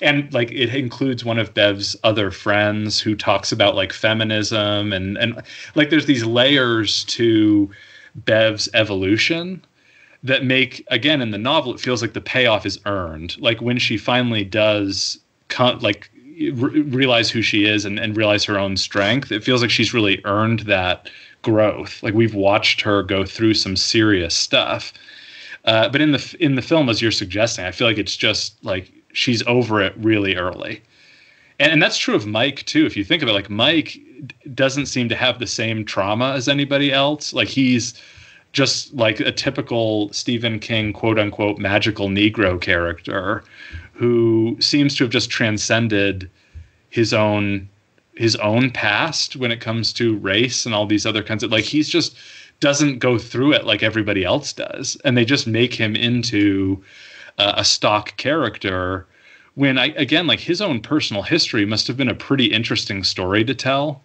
like he's the one who got left behind he he's the one who's stuck in Derry with all these responsibilities and somehow you take that character and make him just interchangeable. I mean, he, he's not actually that significant in in the grand scheme of the film. He's really not, and I I hate that so much. But um, I I feel like uh, the thing you were talking about with Bev's husband would be so strong, and it goes back to my number one complaint with Pennywise, as well as the realism of Pennywise, and that is that the real world is fucking scarier. Yeah everything that these kids go through in their daily life to me is way scarier than this supernatural thing that might kill them. And my reasoning for that is if I'm a kid in Derry and I'm not picked, I still deal with all the other horrors. If I am picked, I can't do shit about it. Like, yeah. I'll, I'll, be honest, man. I'm going out faster than Georgie did. I don't put up a fight. I'm I'm I suck at that kind of stuff. So so I'm not scared of Pennywise. Uh, yeah. He doesn't do anything for me, and that's another reason that I don't connect with this. I don't feel like he's scarier than the actual lives they're leading. Well, from a from a technical point point of view, you know what I felt was you know one of the great weaknesses of it, and this was true of the miniseries back in the day uh, in the 90s as well is an over reliance on special effects. Oh like God, yes. the it's like why don't you eh, Pennywise is scarier if he's not so omnipresent. If it's like I don't get to see his creepy face every 4 seconds, I'm a little more creeped out if it's only occasional. And I got you got to give it to Muschietti. I think he does a pretty good job with the, he, he he's good at that sty- those stylized scares. I mean, some of them are really pretty effective, but like, why include the giant woman? Like, it was creepy when Bev went to visit her apartment, and they and Pennywise's daughter is kind of doing this like naked, weird, creepy thing in the background. Yeah, that was that way was, scarier. That, that was effective, and then it's like, and then you turn her into a claymation giant who comes out like thumping around and you're like is this scary i i was scared of the old woman when i didn't know what was going on i was less scared when the old woman turned into this looming sci-fi thing and i was like oh, okay that, i mean that just doesn't scare me so i felt like he fell prey to making pennywise a special effect and like here's all the cool ways we can use special effects to make him scary and I'm I'm a sucker for the minimalist stuff. I'm a sucker if Pennywise is only very rarely glimpsed. Like it, it just would have worked better for me without all of the excess of special effects that they tried to throw at him over the uh, course of the movies. What about you, Don? Were you scared of the naked woman running around? Uh, well, she didn't look like Blanche from uh, Golden Girls, so I wasn't necessarily paying that much attention to her. um, but no, I, I have to agree with you on this one, Mike. In the the whole idea that in the second movie, a lot of the power of, of, of Pennywise is taken away because he's there. That was a problem I had with it. I mean, it, cool. You know, I had some some great CGI kills and things like that. Some some great tension building moments. But the fact that I, I feel like Pennywise should have taken uh, uh, I can't remember his name, but Skarsgård uh, should have taken top billing in this movie because he was there the most.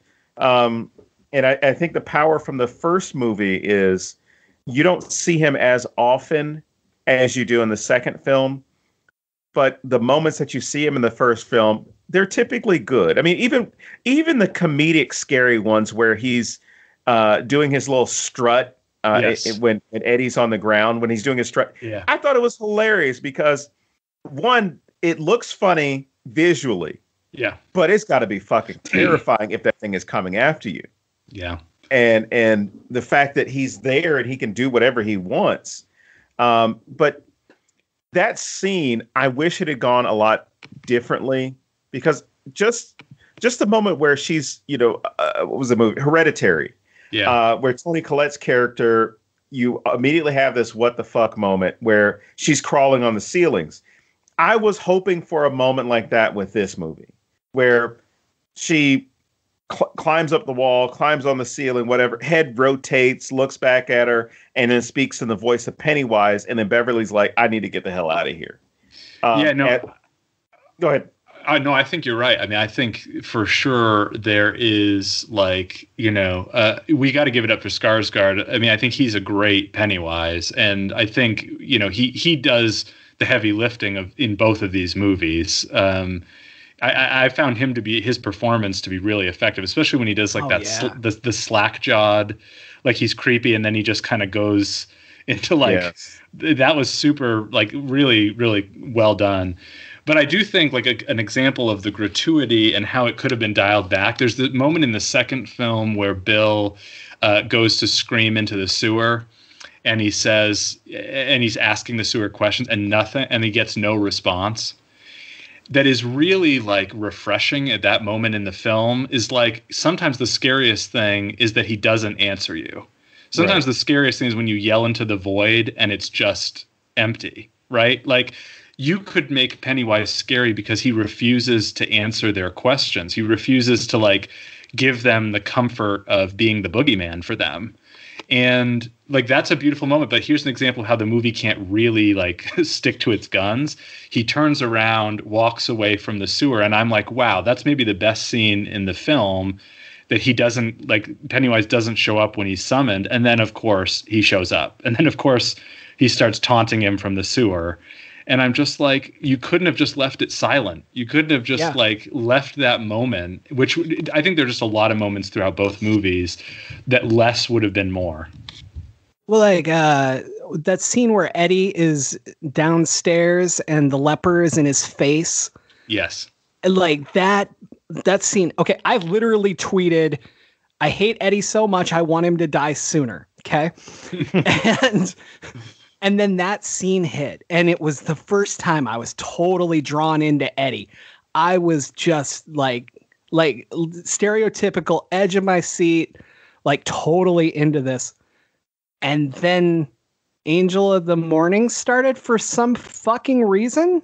yeah And I'm like, you took this powerful thing that made me completely change how I felt about your character and you ruined it with this this thing that serves no purpose.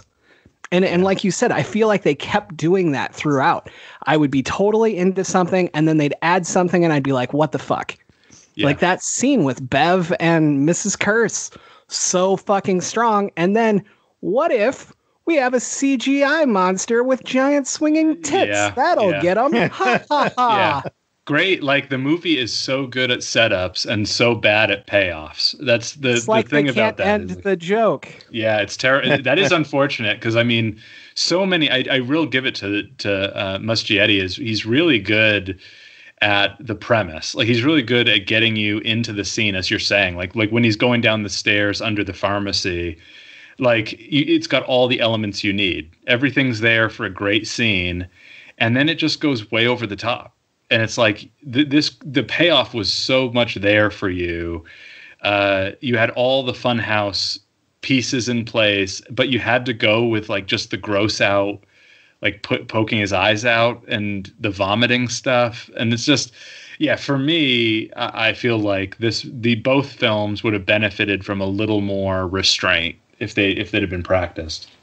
Even the vomiting didn't bother me because Eddie's so terrified. Like that's his fear. Yeah, Like so that works in that situation for me. But I just I I don't know what they were doing with this song or why it was played for 2 seconds. And uh, yeah, I, But well, and But- the, and that when he does the vomiting too with the leper, like the first time we see the leper, I'm like, great. I mean, this is a is a natural choice. But Oh, the leper yeah. the leper shows up so many times that by the end of the second movie, and again, like if you want this to be interesting repetition, you have to do something with that. yes. But they don't do anything with it, and so by the time, like by the fifth time I'm seeing the leper, I'm like, you know what's going to happen, don't you? The leper's going to come out somewhere because we've seen the leper like so often that I like I'm bored with the leper. By the time I see him the last time, I'm like, oh, here he is again. Here's this guy.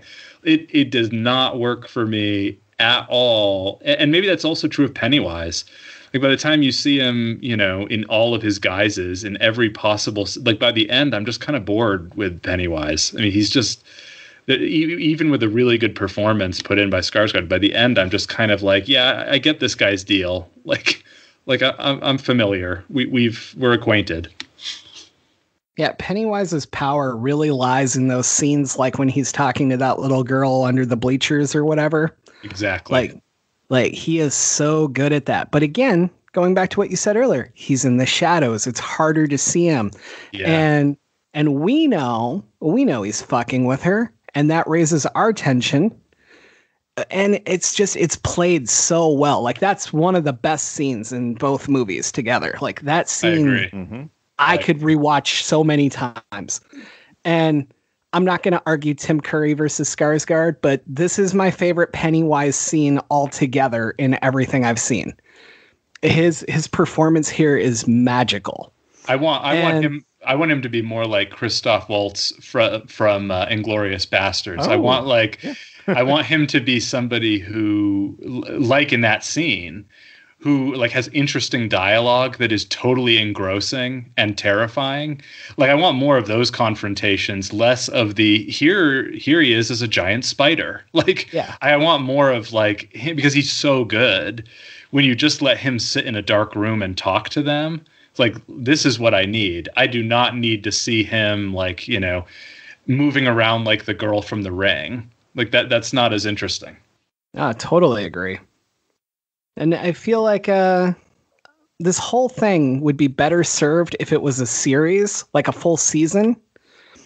Because then you could get like all these nuances of these different things. Like one of the powers to me is how messed up Derry is. And Derry, no matter the book, Derry is always a fucked up place on its own. And yeah. King does a really great job of making this town its own character, right? Mm-hmm. But in it, one of the reasons that Derry is so fucked up is its influence on Derry. And I, I would love to see a whole season where we see like how his power as it's starting to come back is like making people make darker choices and, yeah. and growing from there. And that, you know, that's why we get Adrian Mellon's death. And that's why we get these other things because this influence is supposed to be so strong that it literally affects everybody. And we don't get that with the adults when they return. I, I would love to see them getting darker and, and trying to actively fight it. Yeah, no, I think that's a great idea. And I think, you know, like you really could uh, give these characters more imperfections and more like inner demons. Like maybe their trauma and their response to it is not always the right response. I, I just feel like there's a lot of there's a lot of stuff you could do with that that would be super interesting. The thing that I found interesting about this is not just Pennywise itself, uh, itself, uh, because apparently this is some some other type of being, but the the use of fear and you know the theme of fear between these two films and and what people are afraid of and how uh, you can have cyclical trauma or or you know trauma that returns periodically and how Pennywise is able to manifest that fear for any of the characters that he co- or any of the people that he comes in contact with. Whereas uh, the little girl you just mentioned, he really doesn't man- manifest anything for her other than that. I guess the the fear of something out there because she's not even she's not really f- afraid of him. Um, at least the way that she starts to interact. Um, or but really, my question is you see how Pennywise takes advantage of what people are afraid of. What would it be for either of you that would be, you know, something from your childhood or even just from adulthood or life in general that it could possibly use against you or Michael, it could take like advantage of? Uh oh boy. Well, I mean, you know, there's there's all kinds of um, you know, the the surface level things about you know like I, I have a, a long standing fear of sharks and have not been in the ocean uh, in my life just because of that fear. That's probably because of Jaws, right? I guess that's where my love of minimalist uh, horror really started was seeing Jaws at a young age and just being totally like under its spell. Um, so there's stuff like that that would be horrifying. But honestly, I think the uh, the greatest thing Pennywise could use against me is probably true of a lot of us. I mean, not fitting in. Uh, I guess the the fear of um, not being popular, not being accepted, like the fear of being left alone, uh, and and being unimportant. I mean, for like kids, like w- what else is there but to be accepted by other kids? Like, like isn't all of the? I mean, not all of it, but aren't the like big fears at that age just this like overwhelming fear about like what if the what if the girl I ask on a date says no? Mm-hmm. Or, or, or what if like what if we're at the dance and someone makes fun of me like what if my friends don't think i'm cool anymore like those are the fears that to me are like the deepest like i can we can all i'm sure but remember like visceral moments in your childhood in which it was kind of like i don't think these people really like me or i don't think that i am actually a very cool person and and i'm never going to actually fit in with this group of cool kids like that kind of stuff is just so so weighty back then. I mean, when and when you're older, of course, you see how silly it is in retrospect. But at the time, it's like, man, that stuff is heavy. Mm-hmm. Uh, mine would be a global pandemic that cancels all conventions, and I, I can't do panels and I can't sell books. No, okay. Um, my real answer is actually kind of similar. Uh, Don knows I always blame mermaids. I claim that I'm terrified of mermaids, but that's not it it's large bodies of water that I can't tell what's in it. Yes. Like there's something about that that's just fucking terrifying to me. Now, if you amped that up and I couldn't see land in any direction and I know I don't have the skills to survive this, like that's oh my god. That that's terrifying me right now. Um other stuff obviously anything to do with my kids. Yeah. Um anything to do with people I truly care about, um, maybe even Don. And uh, no, I'm kidding. But like, you go back to uh, the fear of not fitting in. And I think I could deal with that better than what I'm about to say. If there were no people anywhere, like if I woke up in a Pennywise world where everything's the same, but there's no people, I would enjoy it for a single day. No, um, that would terrify the shit out of me. Like being completely alone. There's no one else anywhere. And I can't like I can't Facebook anybody. Like there's literally no one else. Yeah, that is that is unsettling. I, I think the um, for me too, it's it's that scene with uh, Bev and Ben with the projector and their and their after school and uh, and again, they, it goes way over the top where she like becomes a flaming skull like Nicolas Cage, uh, and then you're kind of like, what, what is this? But uh, and that's actually the closest you mentioned earlier. The like, you know, Pennywise and Bev looking alike. Like that scene actually yes. does something with that. But the I think it's that moment where it's like. You, I, I thought you might have feelings for me, or I thought that you might like me, and I was wrong like I, I, miscalculated and secretly or not so secretly you're like yeah you're you're not you don't matter to me. Like that revelation is terrifying right? Like the person you thought who cared about you revealing actually i don't i don't actually care that much about you at all. Like that's the great horror. And like like that that in that moment is so weighty of like oh ben is just realizing like the girl is telling him oh i don't think like I couldn't like someone fat and gross like you. Like that moment is so raw. If they hadn't turned her into Nicolas Cage with a flaming skull, like that moment alone would have been terrifying enough for for me uh, in oh, my yeah. my own like school years. Yeah, and and I go back laughing to, through the hallways. Yeah, I mean, yes. like that's that is really painful. Yeah. But I just go back to how strong that would be if it was Richie and Eddie. Yeah. Like it would be so much worse as an adult, I think. And then you add in the LGBTQ thing as well. Like, I don't mean as an adult in general, because most of us have the experience of having been rejected enough times that we, you don't get used to it, but it gets better, right? But I think in Richie's case, like, really sitting down and admitting his feelings and then having that go sideways, I think that would have been so powerful. And I know I keep coming back to that, but I'm No, really disappointed they didn't do have it. You have a right to come back to it because think think about it, it- think about it this way. You have the moment where he's at you know playing Street Fighter and is trying to make another friend, whether it's somebody he's actually attracted to or just you know someone new. And he says, "Hey, you know, you want to play another game?" And the guy's like, "Why are you acting so weird?" And you see that that you know, uh, um, oh my gosh, uh, the other guy, the the bully shows up Bowers. and then start yeah starts throwing those those epithets at him you kind of you kind of question that that's one way to handle it Eh, i'm sorry one way he would react to it right? This is somebody he already doesn't like already somebody he's, he's fearful of. This isn't someone who is significant to him as far as someone he should care about someone he associates with.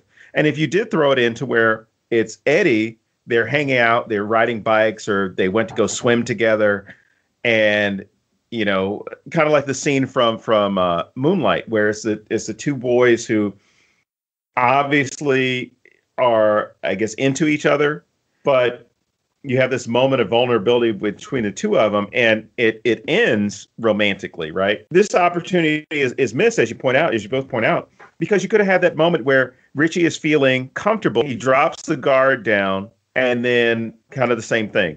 Eddie looks at him, calls him the F word, and, and starts laughing at him and, you know, pushes him o- off the cliff. You know, he falls into the water or something. Or you could have had it back in school where he's just laughing at him and and and just ridiculing him the whole time. Or it's just done in front of a bunch of people and everybody now knows his secret. I want to congratulate you on a really good attempt to get out of telling us what you fear. I'm not. uh, I wasn't going to. no, I agree with all of that. I, I really like the idea of pushing him off the cliff as well. Like that's such a such a beautiful symbolism. I, I feel like we should start writing the series soon. Um, anyway, Okay. All right. Here's probably the, the two things that it would have been at that age. At that age, and I'm not revealing any secrets here. The person that I'm speaking about knows about this. Um, but at that age that they were, it would have been my dad. Like all Pennywise would have had to do was turn into my dad, and I would have been I would have been done. Uh, because that was the one person I was the most scared of in my life up until he told me up until he told me, I guess when I was around 16 or 17, we were just having a heart to heart. And I told him something like, you know, I, I don't like coming around here because you're always this. I think you're gonna, you know, I'm I'm worried you might hit me or whatever. And my dad looked at me, he's like, Do you know how fucking big you are? and I was like, What do you mean? He's like, if I tried to hurt uh, to hit you, you'd probably kill me. And I just at that point I was like, Yeah, fuck you, old man. I'm bigger than you. yeah. But it was still one of those things that in my back of my head, like anytime I do something, I'm like, oh God, this is gonna piss off my old man, or this is gonna do whatever, right? Um, but I think around that same age as as as Richie and and, and Eddie, I probably would have had the same, and I'm saying for myself, not for them, confusion about my own sexuality because within these peer groups, there you know there was the whole thing which was you got to be a man you can't be you know the the f word you can't be gay you know gay was gay itself was used as a pejorative. Calling someone homo had the same weight as the f word right so anytime i did something i was like oh i got to be extra macho because i don't want somebody to think i'm gay. Oh my god you know just how stupid it was to think Yeah. like that back in the 90s like i don't want anybody to think i'm gay. No i'm going to go play football and you know grab a bunch of other guys and you know what maybe i'll join wrestling and wrestle around with it. So it was one of these things where i started looking i'm like none of this none of the arguments you guys are making sense. Like you're saying i have to be hyper masculine but the hyper masculine stuff is the stuff that you tell me not to do which is oh well you shouldn't be grabbing on guys. You shouldn't be doing this. You shouldn't be playing it roughhousing and stuff like that. I'm like but you're you're trying to get me into the sports where it's the same thing. I'm confused. To the point where i even said ridiculous things like you know if it was a game and somebody smacked you on the butt and was like hey man i'm not i'm not down with that gay shit man. Don't touch me. And people on the team were like what are you talking about? I was like, man i nope don't touch me and so you had to turn in this whole like extra macho bullshit of, you know, I have to let you know that I'm not that way. So if you're thinking that way, uh, change your mind. And I think that's that might have been the defense that that Richie put up, at, at least early on, of like, oh, I'm going to tell all these dick jokes. I'm going to talk about having sex with your mom. and I'm going to do all this other stuff because I'm not sure where my sexuality is.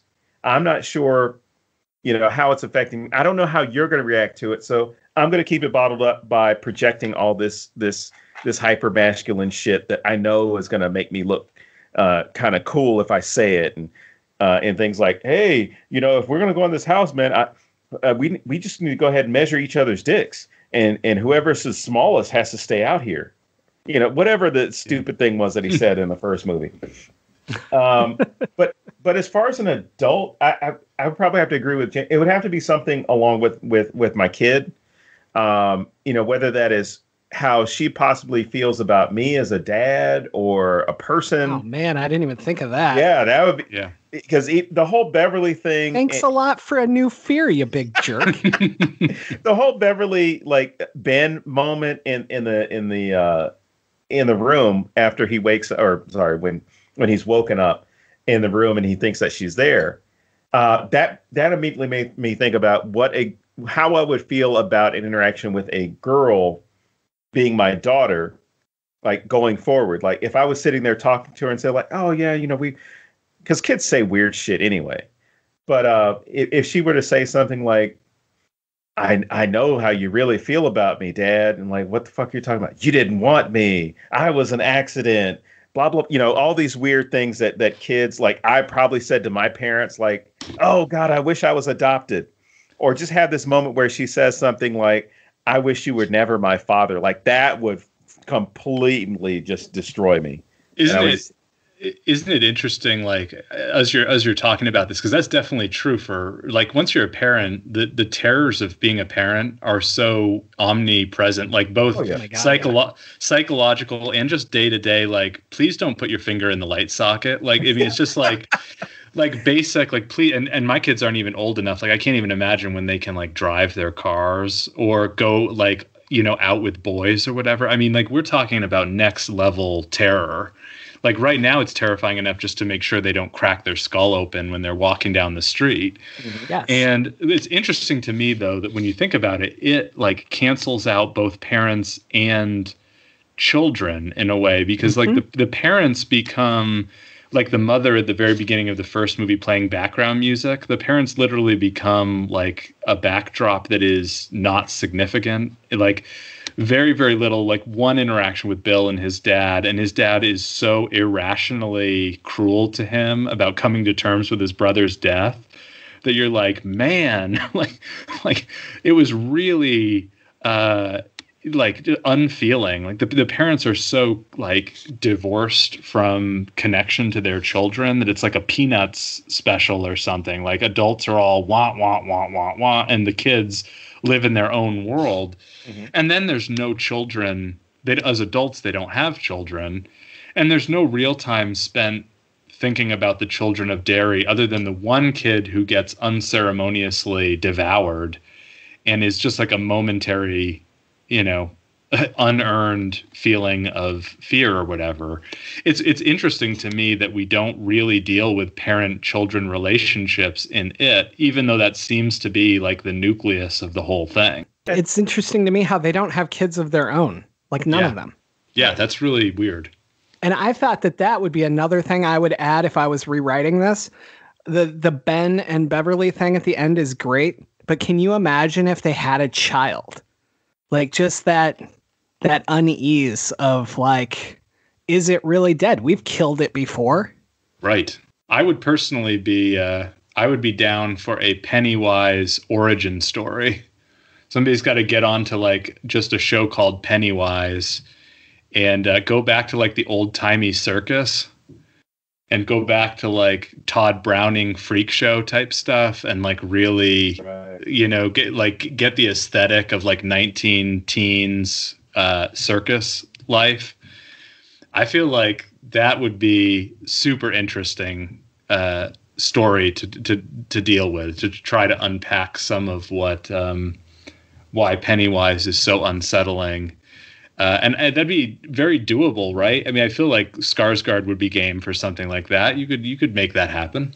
Ah, I think that'd be amazing if you cast him. Like that would that would make my day. Yeah, I would watch that more so. I, I don't know. That really interests me. Also, like as you were speaking, I was like, you could do a whole season of like different decades or different times he showed up. You know, like. Mm-hmm you know, yes. like how WandaVision's been doing the, the different decades thing. Sort like, of like uh, sort of like Castle Rock, but not but Derry instead of Castle Rock. And I feel like Derry, you could do the cyclical thing. Castle Rock's just kind of this ex- sprawling universe but Derry is more like repressive cycles. You could do a really interesting like every every 20 year cycle from you know the the beginning of the nation until 2021 and it would be a super interesting series. In your research have you seen any real difference in how the politics are related between the two towns? Or are they like super similar? Or like has that not come up at all?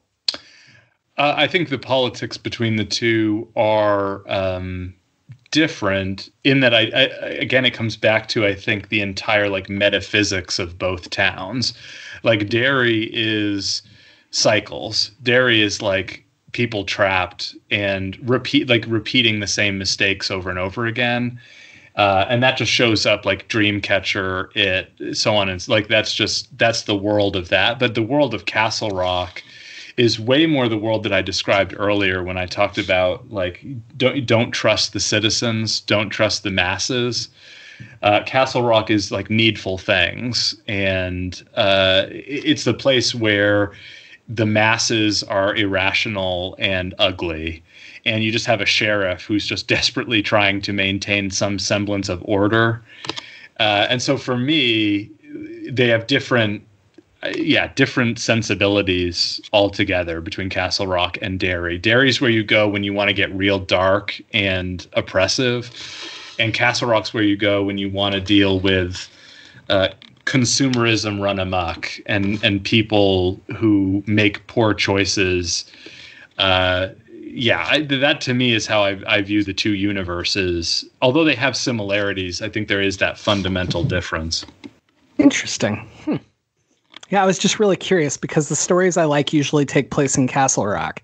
So I was wondering if there was like a big difference between the two. I want to jump to something completely different, and I'm going to ask this. Uh, I'm going to start with you, Don, because of your your major history background here. This uh, native tribe that is oh. incorporated into this film bugs the living shit out of me. It should. And uh, I just I want your take on like, is this lazy? Is this racism? Is this lazy racism? What the fuck is happening here? I think it is. Uh, yes. Um, I I think it's it's it's just this weird idea, or at least this weird connection that we have to the to what's known as the noble savage mythology and, and things like that, or or um, the oh god, I forgot the other trope, but you know, just the whole idea that Native Americans are more in tune with with with nature and everything that's going out there. So of course they have the answers to to this. So we need to go ahead and you know I know they didn't say it was peyote, but we need to go ahead and have some peyote and, and get into a sweat lodge with a shaman and he's going to teach us all this stuff.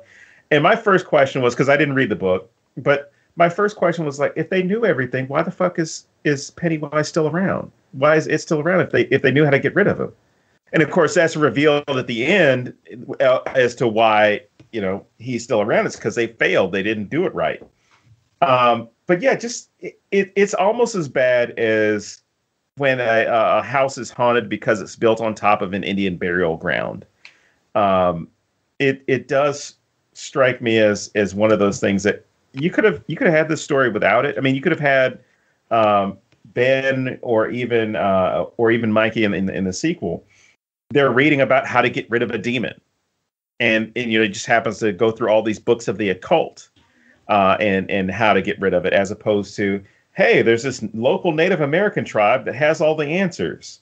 Uh, and you know what? We're going to use the uh, we're going to use the magical Negro to do this. No, I, I totally. I mean, it is a very Stephen King thing. Like, it, it in no way surprised me because of the fact that Stephen King so relentlessly uses Native American exotica to you know fill in the gaps. You know, with pets from Pet Sematary and The Shining on down. It's it's almost always you know uh, the the the curse of the Native Americans. And so even though it, it's clear that like the white man is to blame, even though you know clearly uh, he he's very rarely blaming Native Americans for being demonic or evil or whatever. It's just these questions of representation of like okay so the only native americans we get to see are smoking some you know variant of peyote and are going through these very like primitive sort of rituals and so like it just it strips the characters of any kind of semblance of uh, humanity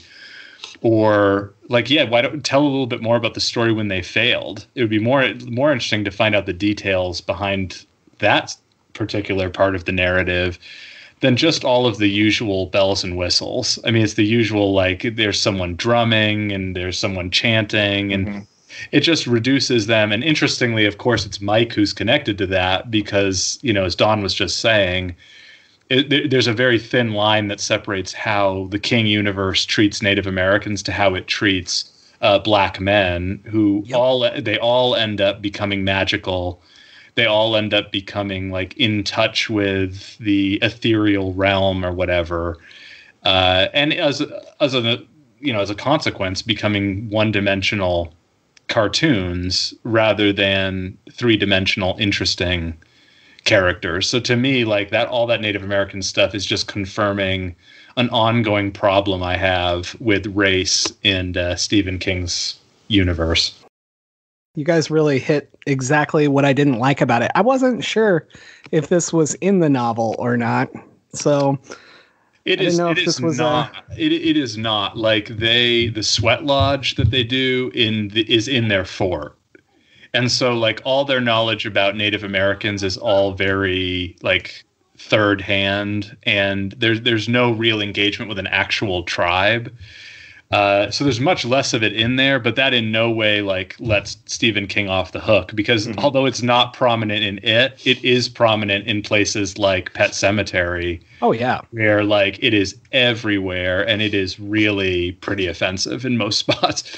So like I wouldn't, you know, just because he didn't include it in the novel, it's definitely uh, pretty frequently employed. I think we covered a lot of ground. I mean, we, we touched on a lot of important mm-hmm. stuff from the film. So um, thank you both for really having a good conversation. I think it might come across as though I only had negative things to say about the films, but in fact, I do think there's some there are some interesting and promising things scattered through both films. I, I did, for instance, in the second one, I really liked the way that um, the way that they were interweaving how the stories bled into each other. Mm-hmm. And so was that there was that opening shot where they kind of come up through the puzzle that Stan is making. And then there was uh, Ben's house. Yeah, no, that was from Ben's house. And then it was up into Stan's puzzle and then Stan dripping blood and it drips onto Bev's face. Oh, I right. loved that. Those the interconnections because that's really like the novel does a lot with that. The the way that these stories weave together and kind of are it's not just one story, they're all a joint story. And I feel like in moments he's doing some pretty creative editing and some pretty creative camera work to do to play with that and to make that really I, I think visually pretty interesting it's just there's just not enough of it. To to be honest, there's just too much standard fare mixed in, not enough of that kind of creative stuff. And I feel like uh, Muschietti has it in him.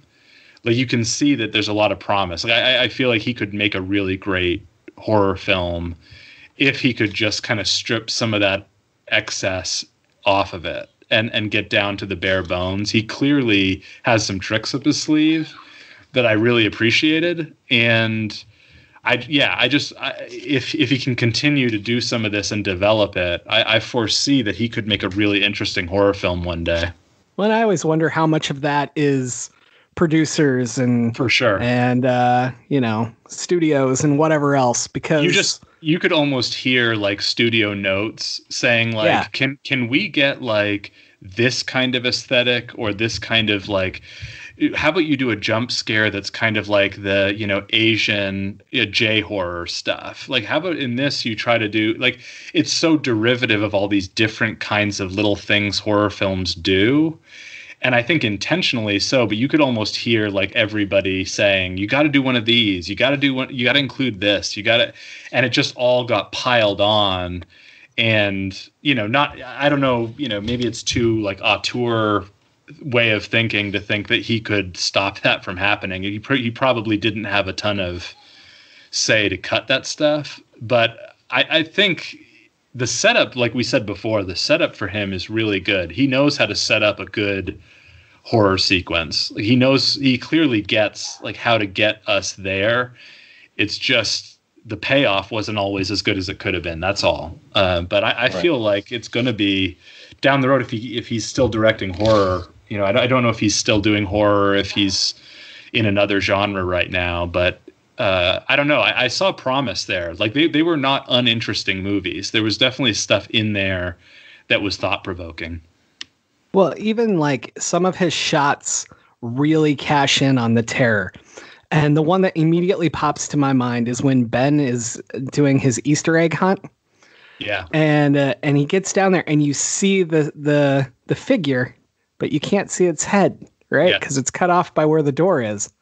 Yes. When it drops down and doesn't have a head, that's a great reveal. yeah. and it's shot in a way that doesn't tip you off that it's coming and it's not a jump scare which is one of my big complaints about this film is there's a thousand jump scares for no fucking reason too too many. Yeah. Too and many. you should uh you should be cashing in on this tension A hundred that moment where it drops down and doesn't have a head isn't a jump scare it's a holy shit moment right Yes. and yeah. and for that like for that second i'm so invested that i'm ben and i'm like whoa what the fuck you know and, Yeah, and that- those were that's really so masterfully shot because Yes. it's it looks so simple.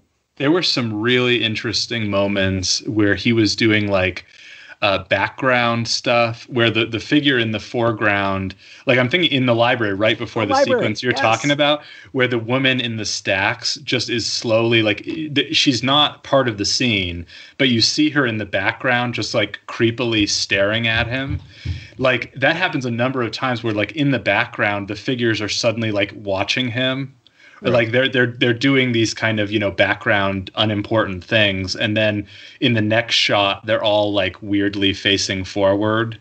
Like that kind of stuff is so good and so not flashy but very creepy and like raises that level of dread. Those moments were really good. And it, unfortunately like again i'm thinking that another moment it happens is in the park with the paul Yeah, bunyan's. The Yeah. paul bunyan statue and like everybody in the background who's doing their own little festival stuff just suddenly is like robotically staring forward at him and that is really effective but then it's cut with oh here comes a paul bunyan statue trying to kill you with an axe and it's like Yep. the fear is gone like any any trepidation or fear i had is gone because now there's a giant paul bunyan statue for some reason chasing him and it, but again like really good stuff mixed with really mediocre stuff. Yeah, I uh, I was talking to somebody, one of my friends, about Paul Bunyan and and swinging boob lady, and uh, and she was like, "Well, it's the it's the use of the CGI and the weird way it looks, and it's this and it's that." And I argued that uh, scary stories to tell in the dark did the same sort of thing, and theirs are creepy as shit yes yeah and and they work really really well so it can be done yes execution. Oh yeah, a hundred percent. It can be done if it's done like well and not gratuitously. Like again, if I just got one of those, it might be effective. If I get like fifty of those, I'm a little tired of the CGI like giant figures by the time the movie's over with. yeah Uh, you just got to be sparing with that kind of stuff. And the one only the, the one thing I would say too that I I, I visibly was like just scoffing when I watched it the most recent time with my wife was Henry getting kicked down the well, and like it, it again, it's like a it's a logical or logistical thing that probably is like unimportant. But I was like, I know Henry has to come back in the second movie. Like, so when Mike kicks him down the well and he goes plunging down the well, and then the second movie they just have this like, okay, he's alive suddenly. It, yeah. it, it, didn't like I was like, what? what? Why did you? Like, you know, you're making the second movie. You know that this is a two part thing. Why would you kick him down? The well like and you hear him like bouncing off of stuff. Like there's no right. way he he lives. Like why do that? I just don't understand. Like it just makes it so much harder for you as a filmmaker. Okay we got to bring henry back somehow. Even though we smashed him into you know a million pieces in the well i guess somehow we got to drag him out of there and, and get him back. It, it was the mullet that saved him yeah, I think the mullet must have. He must have gotten like the uh, the levitation with with the, the mullet got some air velocity underneath it and and saved him. Yeah. Um, yeah, I I go back to this Paul Bunyan and and the lady Miss Kersh, and I feel like both of these don't equal the fear of the person being chased. And yeah. and I think that's another place I lose it. It's not just the the special effects it's that for me, it doesn't add up in the story. You want to go creepy? Miss Kersh making out with Pennywise, like topless, saying right. she's daddy's little girl. That caches the oh, fear. Oh, it's shit. scary as fuck. It, it's like all this stuff, right? Like, right. that's where you cash it. You don't do this thing they did. And, and I don't even know where to begin with Paul Bunyan, so I'm just going to ignore him. But like, it it doesn't work with the fear of the person being chased. That's what I don't get about it. Yeah, and again, like yeah, if you could put just put Skarsgård across the table from Richie, and you know, like just have him talking. Like Skarsgård is scary. Just let him like give him some good lines, and let him talk to him in creepy ways, and that's enough. The, Paul Bunyan does not do it for me. Like oh. I, I don't understand what Paul Bunyan has to do with Richie's secret. I don't understand why Richie would be scared of Paul Bunyan. It, it just it, like there's no. It's not only not logical. It just emotionally is kind of just not effective. I I, I would so much rather have. Uh, you know the the fear of just having Pennywise talking to them about their fears, and find ways to get Skarsgård into intimate moments with these characters. Mm-hmm. And I, w- I would find that a hundred times more effective than here's Pennywise passing the baton off to the next CGI monster. Yes. That that I I don't know. I mean, it's a missed opportunity because Skarsgård is the star of the show, oh and God, yeah. like you got to give this guy more to do than just be introducing the real horrors, which I feel like most of it is him kind of just saying, and here's another one, and here here's something you're scared of, and then he just like like you know the camera turns and it's some other weird CGI thing. Like let let Skarsgård do some stuff. Let let him just be be him, and man, like that's the movie. That's the whole thing right there. Yeah, because even that part where it's it's Pennywise as the as the the the circus worker. Yeah when you see him without the makeup, that whole tra- like the the the way they are able to convert him from human to Pennywise and that moment, that was that was good.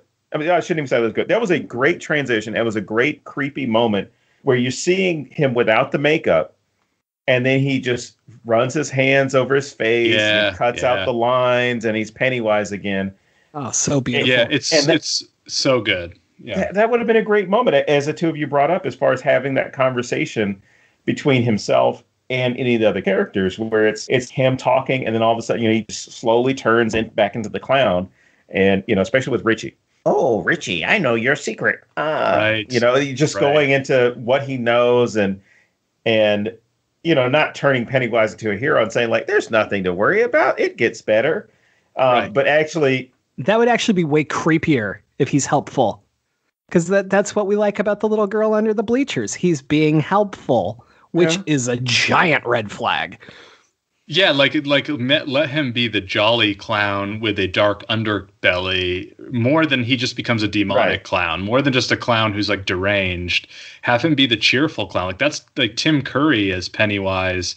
I think is so effective because he's so like cheerful and you know so happy and yet so unsettling at the same yep. time. I think both actors do that so well um, that you know just just exploit that that's that's everything and if you can do that well that's all you need you don't need a ton of cgi effects to to magnify that that that does its own heavy lifting I think that's a good place to wrap it up today. Uh, we've we've covered a lot of ground here. So at this point, we usually bring it to a what films should people watch if they enjoyed this? And so, Don, I know you have a list 100, 100 miles long. I and I just caught Michael off guard with this. So, Don, if you want to go first, you certainly can. Okay, well, I'll, I'll do this. Uh, the the first movies that come to mind for me, and I and I might have mentioned them earlier. Um, it would be Annabelle uh, Creation or Annabelle Comes Home. Uh, would be a couple for me. Uh, the Boy. Uh, I love the boy. Gosh, what was another one that was out there? Um, you know, oh, really fast the boy does the thing where the abusive boyfriend comes like literally from America to Europe to track her down. Yeah. And so they did it better than it. well, there's uh, Hereditary. I know. I know. I mentioned that one. Um, oh, and as far as like non-horror, I would actually recommend The Outsiders because it has a whole idea of community and friendship. Uh, I know the movie James is going to mention, so I'm not going to ruin uh, um, ruin it by saying it before he does, before he has a chance to mention that film. But oh, just just be- go ahead because I don't have a list yet. I was going to say Stand by Me. Oh yeah, of course, but you know, I was um, thinking horror. Sorry, go ahead. Oh no, no. Uh, but those would be the ones that that really stand out to me. What about the two of you? Um, you know, for me, I guess obviously Stand by Me, even though I didn't even think of it just now. I, am going to go with Needful Things because mm-hmm. I feel like Needful Things really cashes in on individualism, like what you really want and and how the things we desire can come back to haunt us. But it also really hits the community as a whole trying to deal with something. And and I would argue that the movie is definitely not fantastic.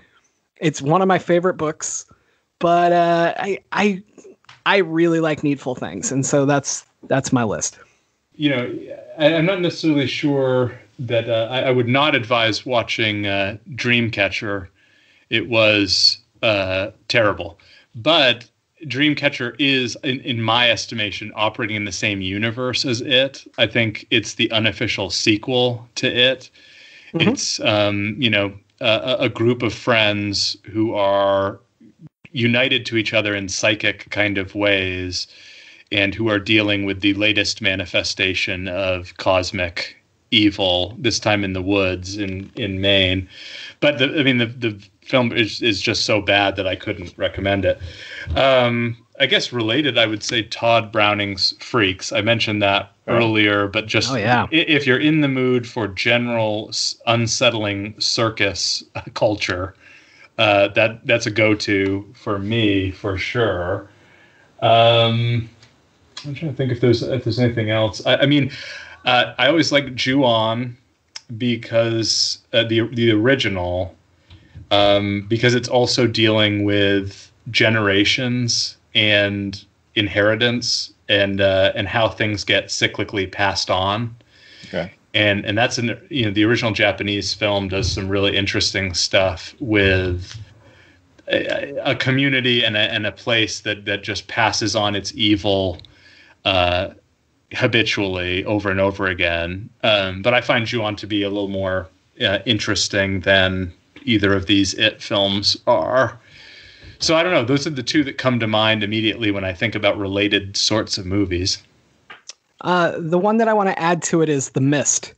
And yes. I know you oh, mentioned yes, yes. the story earlier, and it was yeah. fun because you mentioned the ending in the in the book. Yeah. And The Mist is the number one place I will say somebody had the balls to write a better ending. And and that film's ending is one of my favorite endings in anything. Yeah. And I I want to cover it very soon on this show. So let's say April. I'm going to say we're going to cover it in April. But uh, yeah, The Mist. I I feel like that really gets that whole community and that whole I can't trust you and the just everything that everything I don't like and how it's presented in it is better represented over there. Yeah, I mean how communities get uh, swayed by fanatics and so forth. Like that, it is a really uh, very political Stephen King story for sure. So let's bring it back to you. Dr. Michael Blouin, tell us where we can find you on social media or buy your book or anything else you want to send out to us one last time before you go. Sure thing. I am woefully not on social media. I don't know if it's woeful. Maybe it's maybe it's a good thing. I don't have really social media because I'm just not super. The community aspect of it uh, is too haunting for me. I think. So I don't have that, but I do. Uh, I, I, will recommend. Um, hopefully, if you're interested in the stuff we talked about today, I, I have a chapter on it, the novel, uh, in my new book, Stephen King and American uh, Politics, which you can find at the University of Chicago website, or you can also find it on Amazon or basically, you know, any other bookseller, uh, local bookseller, whatever. Um, so I, I hope you might go out and, and check that out. And um, yeah, that's uh, I I would I, I, think people who listen to this and who are interested in the kinds of things we talked about today would definitely enjoy uh, the book. So I, I would, um, you know, hope hope they go out and check it out. Very cool. All right, man. Well, thank you for being here today. This has yes, been fun. So yeah, thank you so much. It was great. I really enjoyed it. I've I've just really enjoyed how, um, you know, this really proves the purpose of this show. It doesn't matter how I personally feel about a film. The social commentary in this is strong as shit, right? Like it is it's definitely there. It doesn't matter um, how any of us feel about it. We can talk about films we absolutely hate. Birth of a Nation. I'm looking at you, and and how they influence, uh, you know, or how they reflect societal concerns when they came out. How they reflect it today. How we interact. I mean, all of that to me comes back to everything you said about community and how community influences us and how we influence it back. And I mean, I don't know. I'm just occasionally uh, grateful to be reminded that that I don't have to love something to talk about it. you uh, yeah i mean i am so with you on that because in in in one of the books i wrote i read all of the novels by danielle steel and that is just proof that you do not have to like something even a little bit to study it or to think like it's interesting to talk about it. It's worth it's worth talking about this stuff even when you don't like it. I mean, I I don't like a lot of Stephen King stuff and the book reflects that, but boy, we really do need to wrestle with the issues that are on display. And I don't really like Danielle Steel's writing, but she is the third most uh, you know best-selling author in human history. Yep. So I should probably know a little bit about her just so I understand my own culture. I mean, understand like what we care about and what a lot of people seem to be interested in. So yeah, I, I think the what what you all are doing here is great. I think Don, you'd probably argue that uh, I'm even more analytical when I don't like things. I would definitely. Uh, I, I've, I've, I will say that, and I have said that. I really don't like this movie. It's like, oh, there's going to be a good one yeah, because I mean, let's let's be real. Like sometimes the analysis that happens with some of these things is, you know, not in a totally pejorative sense, but can be done just by like fanboys. And real criticism, when it gets too mired in like the fandom of it, it becomes just like a celebration. It's just like, yay, right. this is perfect. There's nothing wrong with this. This is great. And and it is way more interesting when when you have some problems with it. Like like I feel like we we got into some really interesting territory when we were talking about the stuff that isn't so great uh, about the It films. So yeah, I totally agree. All right, man. Well, hopefully you can come back sometime and we can talk about some more films because this has been great. So yes, sounds good. Well, thanks so much for having me, uh, to thanks both of you. That, that was really fun. Absolutely. So until next week, as always, I am James Sabata. And I'm Don Guillory. And we will see you back here at the NecronomiCom.